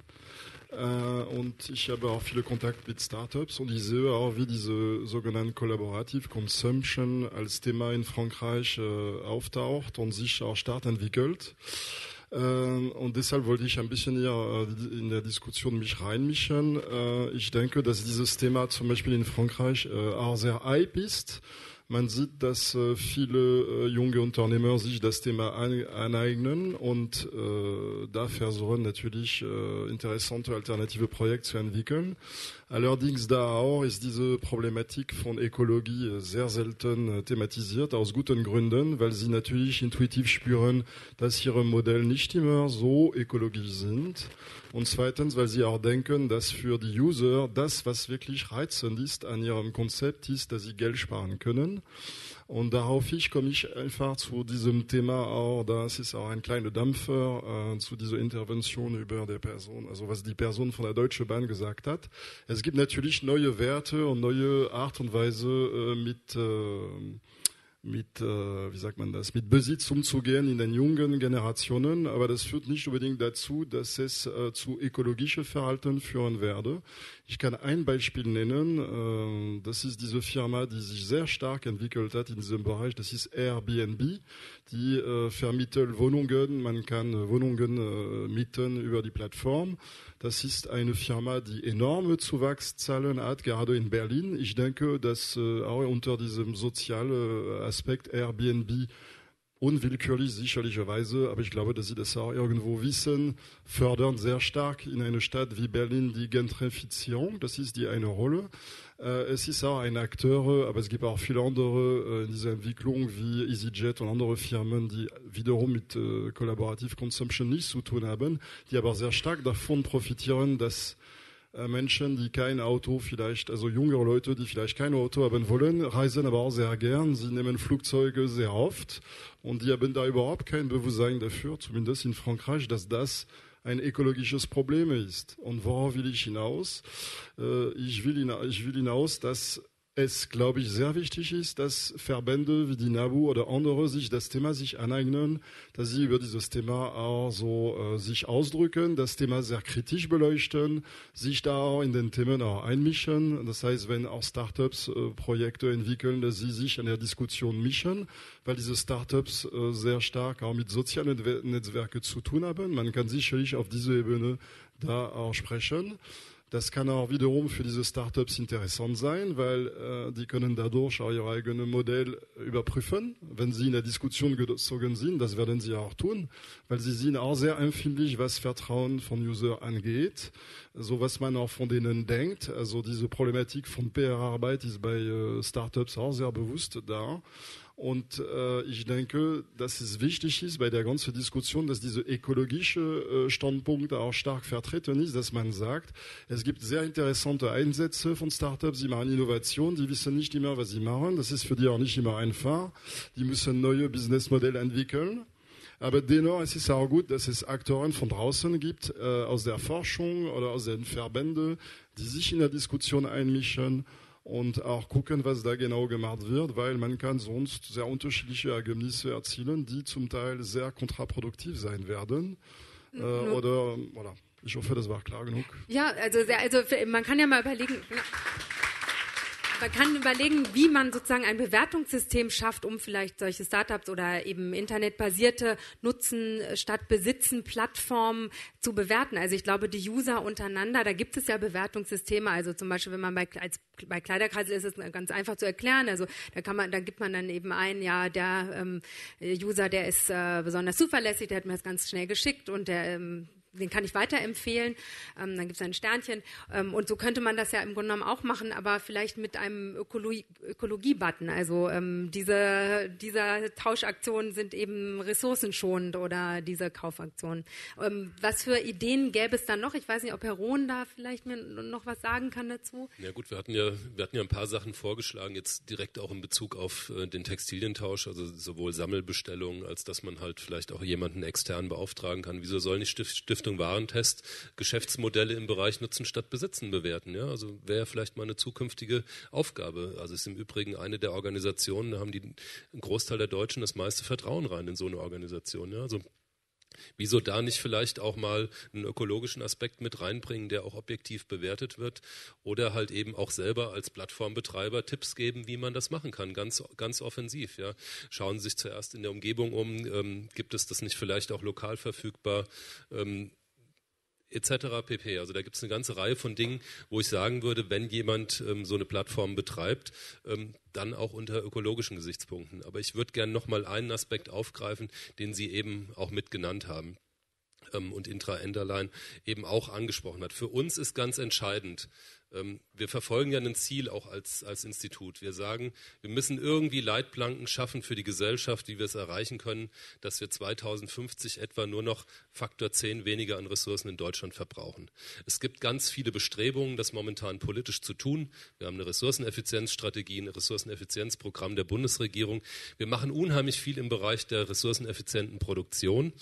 Aber so wie es Indra Enterlein eben betont hat, es braucht sozusagen den, den zweiten Aspekt auch. Es braucht die Konsumseite. Wir müssen uns die Frage stellen, was wollen wir denn eigentlich von unseren Produkten? Und wir haben schon vor 20 Jahren hat unser früherer Chef letztlich den Begriff der Dienstleistungserfüllungsmaschine geprägt, weil eigentlich sollen diese ganzen Produkte, mit denen wir umgeben sind, doch sozusagen Nutzen stiften. Ja, die Bohrmaschine soll eigentlich ein Loch, ein Loch, ein Loch bohren. Ja, ähm, ich will keine Waschmaschine haben, sondern saubere Wäsche. Ich will gemähten Rasen haben und keinen Rasen mehr. Also diesen Aspekt einfach über die Diskussion neu mit einbringen zu können, das ist uns ein massives Anliegen, weil wir hinterfragen das typischerweise gar nicht mehr, was wir denn eigentlich haben wollen von diesem Produkt und manchmal merken wir richtig, wie lästig das auch ist. Ja? Also das kam ja auch raus, sozusagen nicht nur, wenn man mal gerade umzieht, zu sehen, wie viele Kartons muss man denn da packen und schleppen und es tut einem das Kreuz weh, ja? sondern auch alltäglich. Ja?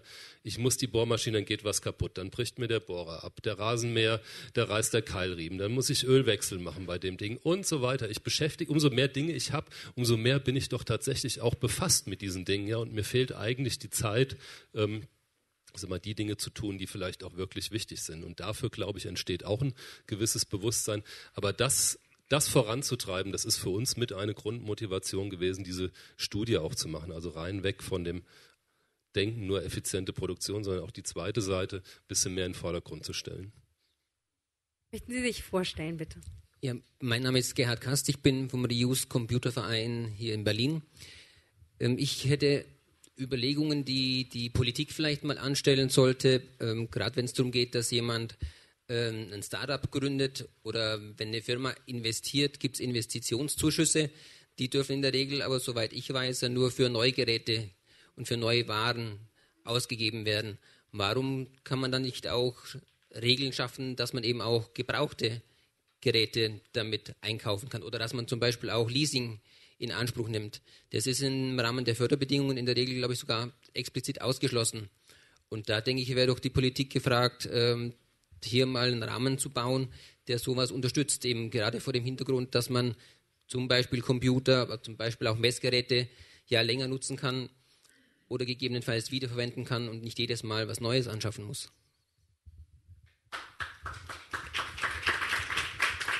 Ja, vielen Dank für die Anregung. Es ist richtig, dass äh, heute alle steuerlichen Bedingungen, alle Förderbedingungen in der Regel davon ausgehen, doch von einem überkommenen äh, Begriff, äh, dass man eben mit dieser, dieser Förderung letztendlich Konsum fördern will. Und äh, ich kann nur dazu sagen, dass solange wir sehr einseitig ähm, in unserer Betrachtung ähm, auf ähm, das Bruttoinlandsprodukt als alleinigen Maßstab gucken und zum Beispiel andere Indizes wie zum Beispiel den ökologischen Fußabdruck oder auch die sozialen Komponenten nicht mit betrachten, ähm, werden wir nicht so weit kommen. Und in unserer Arbeit in der Enquete-Kommission ist genau das unser Ziel. Das heißt, äh, ich muss mich insofern allerdings korrigieren, weil ähm, das Bruttoinlandsprodukt nicht notwendigerweise schlecht ist. Wir müssen es nur nicht als Ziel, sondern als Ergebnis betrachten. Und wenn wir dann die anderen nämlich ökologischen und damit das Nutzen statt Besitzen in den Vordergrund schieben würden und damit dann auch steuerliche Möglichkeiten eröffnen würden, so etwas zu fördern. Sie haben vollkommen recht, dann könnte man so etwas tun.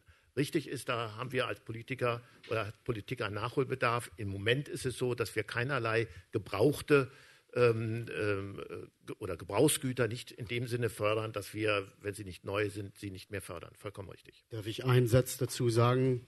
Wir haben natürlich auch, müssen wir uns auch, auch ganz ehrlich in die Augen schauen, eine Industrie, die äh, das auch nicht unbedingt will. Das ist ja so. Die wollen ja ihre Produkte in Massen verkaufen. Und genau diese Geschäftsmodelle sind natürlich äh, nicht äh, in deren Fokus. Und äh, das bedeutet natürlich schon auch, da wird es ja auch heftige Widerstände geben. Das wird einfach über Preiskampf, über andere Dinge auch gemacht werden. Und deswegen ist es auch richtig, dass man die Rahmenbedingungen dafür aus meiner Sicht ver verändern muss. Das sind einmal die rechtlichen Fragestellungen, glaube ich, spielen eine ganz große Rolle auch die Gewährleistungsfragen und, und, und, was alles damit zu tun hat. Ich glaube, da kann man gemeinschaftlich was auf den äh, Weg bringen. Die steuerlichen Rahmenbedingungen spielen eine Rolle, aber auch die Verpflichtungen für die anderen produzierenden Unternehmen, dass man tatsächlich auch Maßstäbe sozialer Art einbaut und ökologischer Art äh, einbaut. Denn meine, wir haben vorhin über Apple geredet.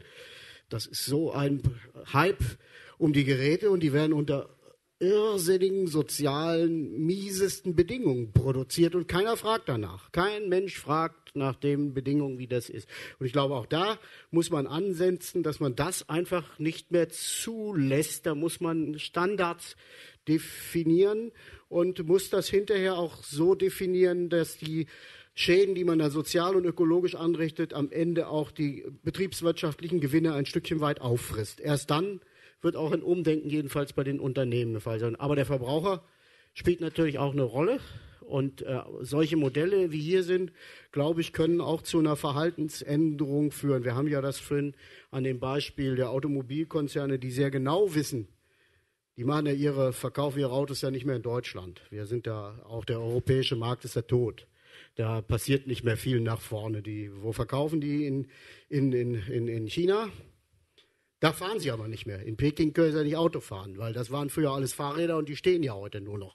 Das heißt, Sie wissen auch, dieses Geschäftsmodell wird in Peking ohne öffentliche Verkehrsmittel, ohne andere Modelle, da gibt es die ersten Modelle wieder Leihfahrräder und Fahrräderstationen äh, äh, zu errichten in einem in dem Fahrradland schlechthin. China war vor 30 Jahren das Fahrradland schlechthin. Da sind Millionen auf dieser Straße Fahrrad gefahren und jetzt stehen sie alle da. Und deswegen glaube ich, dass diese Modelle auch woanders kommen werden. Die wissen das längst. Sie versuchen aber trotzdem mit ihren alten Geschäftsmodellen noch vorwärts äh, äh, zu kommen. Und deswegen braucht es aber Lösungen. Und ich glaube, hier zeigt man ja an, es ist ja nicht unbedingt ein Absenken eines Lebensstandards, wo die Leute Angst vor haben, sondern es ist ein, ein Umsteuern äh, mit, mit anderen Werten umzugehen und gar kein Wohlstandsverlust. Also ich glaube, der Wohlstandsverlust ist an der Stelle gar nicht da, wenn man das hier macht, wie das hier mit den Kleidern dargestellt, sondern das ist sogar ein Mehrwert, weil man dann nicht die uniforme Kleidung, die ja jedes Jahr von den gleichen Ketten immer wieder rausgeschmissen wird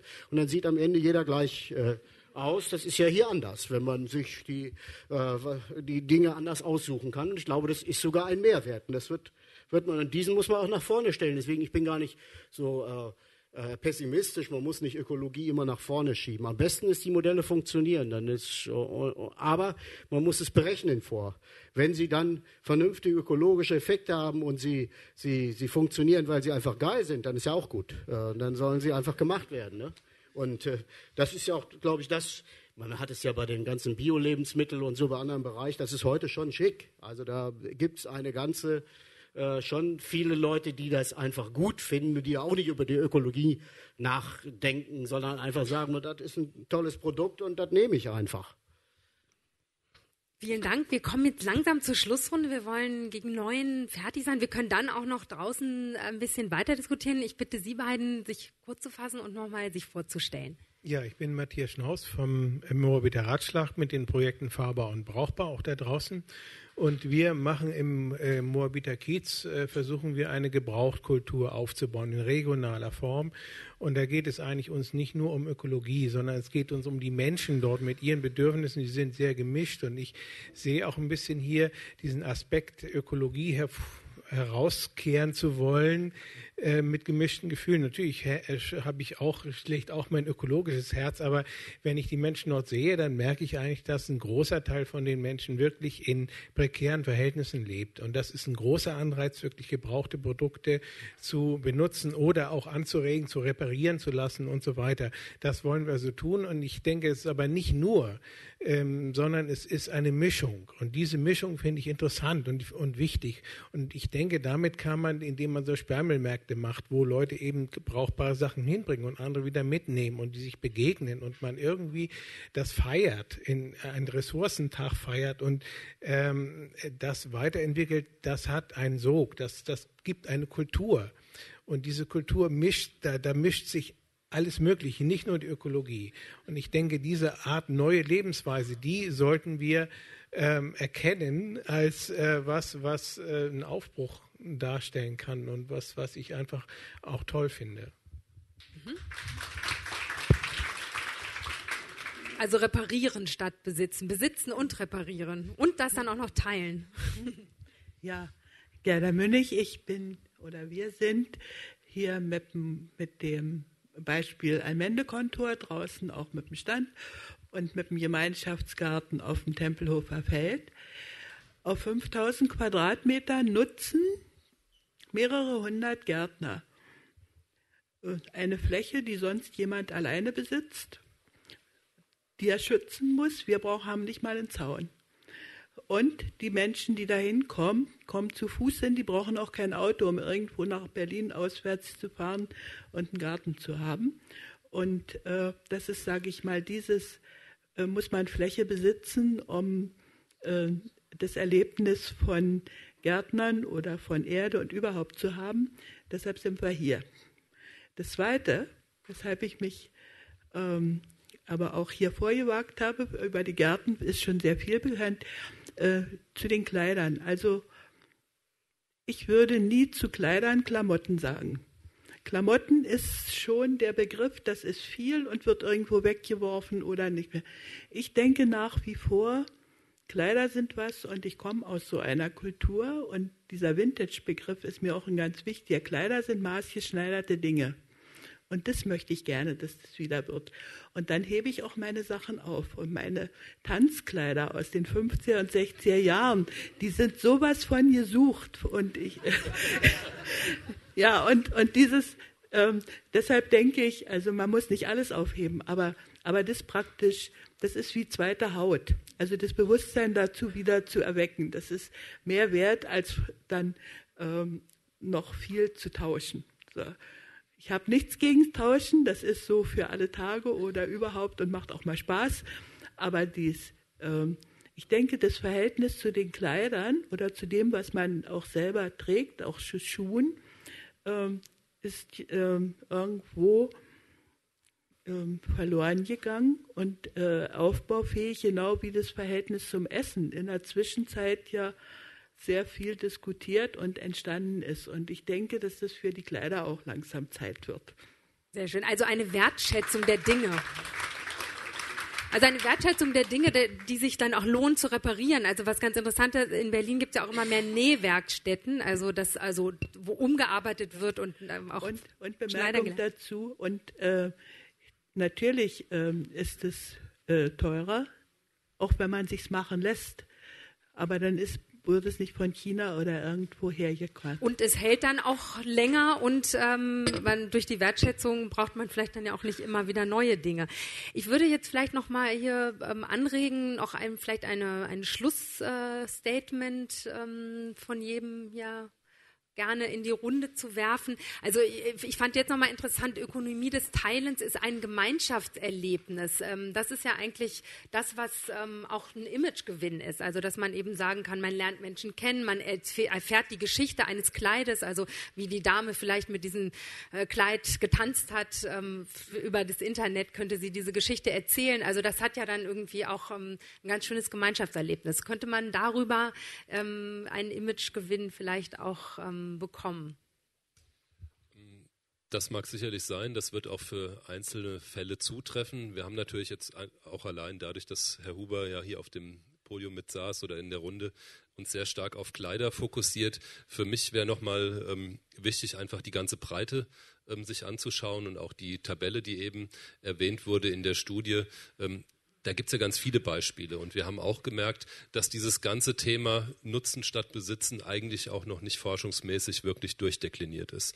Also wenn wir uns diesen ganzen B2B-Bereich anschauen, da reden wir wirklich über riesige Mengen, die auch bewegt werden. Ja, da ist Chemikalienleasing nur ein ganz kleines Stückchen dabei. Sie haben noch das Thema gereinigte Oberfläche in ähm, in der Galvanikindustrie eingebracht. Es gibt riesige Bereiche, wo eigentlich überhaupt nicht klar ist, wieso macht man das nicht. Es ist aber vielleicht auch noch gar niemand auf die Idee gekommen. Das heißt, hier ist auch noch eine ganze Menge Innovationspotenzial vorhanden, diese Idee einfach mal durchzudeklinieren und zu schauen, lassen sich andere Geschäftsformen, andere Geschäftsmodelle finden, wo ich die Dinge nicht nur effizient produziere, also weil auch das braucht es natürlich, aber sondern wo ich sie halt eben auch ganz ähm, geschickt über ein Geschäftsmodell, über ein Nutzungsmodell wirklich sinnvoll ähm, nutzen kann und so eigentlich, und das ist ja uns immer äh, ganz wesentlich dabei, den gesamten Lebensweg eines Produktes, einer Dienstleistung betrachten, also nicht nur ausschnittsweise und nur Ausschnitte optimieren, wirklich, sondern den ganzen Lebensweg betrachten und dann zu wirklich auch ökologisch, sozial sinnvollen Lösungen kommen. Und ähm, da ist sicherlich das Thema ähm, Kleiderkreisel eines, was man diskutieren kann, aber man muss auch sehen, dass es halt eine äh, eines von vielen tausend Optionen ist, ähm, ähm, die möglich sind. Und ich denke, wir brauchen ein, ein Mehr von solchen unterschiedlichen Optionen, die aber auch wirklich ähm, offen diskutiert und bewertet werden müssen, ob die denn auch tatsächlich mehr Sinn machen als tatsächlich das Besitzen an sich. Und wenn wir da so ein bisschen so einen Anstoß heute Abend gegeben haben, nochmal nachzudenken und vielleicht auch ein bisschen anders durch äh, sozusagen mit den eigenen Kaufentscheidungen umzugehen, würde mich sehr freuen. Vielen Dank. Vielleicht, Herr Timke, würde denn so eine Dachmarke Sinn machen? Also, dass man sozusagen mehrere ähm, Nutzen statt Besitzen Angebote, die internetbasiert sind, unter eben einer gut bewerteten Dachmarke vereinigen kann? Also, dass das ähm, wirklich eine Marke ist. Ja, dazu muss man, da, müsste man Bewertungsmaßstäbe haben an dieser Stelle. Und ich glaube, die sollten wir auch äh, entwickeln. Das ist auch etwas, was man jetzt im Anschluss hieran auch machen kann, sich um äh, gewisse Bewertungsmaßstäbe zu kümmern, auch sich um die rechtlichen Rahmenbedingungen zu kümmern und sich natürlich schon auch eine gemeinschaftliche Image, einen gemeinschaftlichen Image-Transfer äh, zu überlegen, wie man das einfach auch schick äh, und attraktiv äh, machen kann. Und ich habe gesagt, äh, für uns geht es ja jetzt auch nicht darum, das Thema als große Umweltorganisation, das Thema Ökologie immer nach vorne zu stellen. Wir wissen ganz genau, dass äh, das Thema immer wichtiger wird aus, die Unter Unternehmen diskutieren heute alle schon, weil sie große Rohstoffprobleme haben und die Rohstoffe immer teurer werden. Der, die, der Transport ist noch zu billig. Also dieser Container aus China hierher, der kostet einfach schlichtweg nichts. Wenn dieser Container das x-fache kosten würde, ich will jetzt keinen Preis nennen, dann wären viele dieser Geschäftsmodelle gar nicht mehr so äh, attraktiv und würden gar nicht mehr funktionieren. Aber in der mittleren Sicht kann man jetzt schon sagen, wenn wir aus dem fossilen Zeitalter aussteigen, und das müssen wir, wir kein Öl mehr haben, werden wir alles auf nachwachsende Produkte, also auch auf nachwachsende Rohstoffe setzen müssen. Die muss man anbauen, irgendwo auf diesem Globus oder muss man irgendwo entnehmen. Und das wird am Ende ja in eine Kreislaufwirtschaft, äh, äh, äh kann nur in einer Kreislaufwirtschaft enden die aber auf begrenzten Flächen stattfindet. Und daraus äh, folgert äh, sich, dass es am Ende zu solchen Modellen kommen wird, die wir hier diskutiert haben, wo tatsächlich die Qualität wieder im Vordergrund steht, wo äh, eine Kaskade der Nutzung im Vordergrund steht und nicht das schnelle Verbrauchen und Wegschmeißen und wo jeder Rohstoff am Ende immer wieder zurückgenutzt werden muss, wenn wir überhaupt erfolgreich mit diesen Menschen äh, wir haben ja nun äh, neun Milliarden demnächst, äh, wenn man das überhaupt hinbekommen will. Und ich glaube, da spielen diese Gedanken aus meiner Sicht eine ganz, ganz wichtige Rolle. Und ich, wenn man da Trendsetter ist, und das versuchen wir hier, das ist ja hier so ein Trendsetter, andere Modelle, auch die hier jetzt, die ganz regional gemacht worden sind vor Ort. Ich meine, wenn das schick ist, dass man sich dann dort trifft und da, wie haben wir gesagt, was hat, was hat der Herr gesagt, die machen eine Ressourcenparty dann ist das doch eine tolle, äh, tolle Geschichte. Wenn man dann auch noch schick ist, dass man die alten Sachen alle wieder nutzt und das auch gar nicht als Mangel empfindet, sondern einfach, Mensch, wir haben das in unserem Viertel zustande äh, gebracht, auch mit wenig Geld, eine tolle Geschichte auf die Reihe, dann ist das doch ein total anderes Bild, dann ist es eine positive Botschaft und ich glaube, darum geht es, das auch mit diesen äh, zu verbinden. Aber ich sage schon, es muss auch Bewertungskriterien geben, an denen wir auch arbeiten müssen, damit man solch eine Idee äh, auch nicht diskreditiert akzeptiert. Äh, äh, denn das kann natürlich auch sein, wenn die Folgen dann schlimmer sind, äh, ökologische Folgen, soziale Folgen, dann äh, äh, schadet man ja auch einer Idee. Deswegen müssen wir schon an gewissen Bewertungsrahmen, an steuerlichen Rahmen, an rechtlichen Rahmen arbeiten. Herr Huber, ähm, als Trend, genau, vielen, Vielen Dank. Ähm, als Trendsetter, ähm, was für Anreizsysteme ähm, bräuchten denn solche äh, Nutzen statt Besitzen, Angebote, wie Sie es sind, um, um vielleicht äh, den mutigen Schritt, den Sie schon gewagt haben, auch zu wagen? Also ich kann jetzt äh, von unserer Geschichte sagen, dass wir eigentlich keine großen Anreizsysteme brauchen, wenn das Geschäftsmodell stimmt. Also ich bin generell skeptisch irgendwie, was, was äh, was Lobbyarbeit, was Sie gesagt hatten. Also Secondhand hat keine Lobby jetzt in Deutschland. Das ist zum einen von, von Industrieseite natürlich, ist kein Interesse da, solche ähm, Modelle zu fördern. Aber ich denke auch, dass es von politischer Seite eher ziemlich schwierig ist, äh, Unterstützung für diesen Bereich zu finden, weil natürlich, was wir im Endeffekt erzeugen mit kollaborativen Konsum sind lauter Mikroökonomien, das heißt Privatverkauf zu Privatverkauf. Was fehlt beim Privatverkauf? Die Mehrwertsteuer. Also, wenn ich bei Zalando etwas kaufe, fallen immer noch 19% Mehrwertsteuer an. Ähm, wenn ich auf Kleiderkreisen mein T-Shirt tausche, eben nicht. Und äh, das wird ein bisschen schwierig werden. Ähm, ähm, was, was jetzt als Schlusswort gerne noch als Anregung geben würde, wäre eine Anregung für eine neue Studie, weil die letzten drei Redner, die wir jetzt hier an der Seite hatten, haben ein Thema angesprochen, das wir jetzt in der Studie eigentlich gar nicht drin haben, und das sind die sozialen Auswirkungen des kollaborativen Konsums. Also ähm, wir sehen auf Kleiderkreisel, das ist ein super spannendes Thema. Ähm, zum einen, ähm, weil wir den Konsum an sich natürlich umkrempeln. Ähm, jeder wird plötzlich nicht mehr nur Konsument sein, sondern wird auch Verkäufer, wird eigener Unternehmer im, im, im Mikroökonomiebereich. Ähm, wie wirkt sich sowas auf, auf unsere Wirtschaft aus? Wie wirkt sich sowas auf arbeitspolitische Themen aus, ähm, wenn Leute plötzlich einen Teil ihres Einkommens mit diesen Mikroökonomien bestreiten können? Ähm, und dann ist es natürlich auch ähm, sozial interessant, weil Leute einfach durch äh, diese Mikroökonomien wieder miteinander in Kontakt kommen können. Also ich lerne meinen Nachbarn normalerweise nicht kennen, außer ich brauche irgendwas Dringendes von ihm.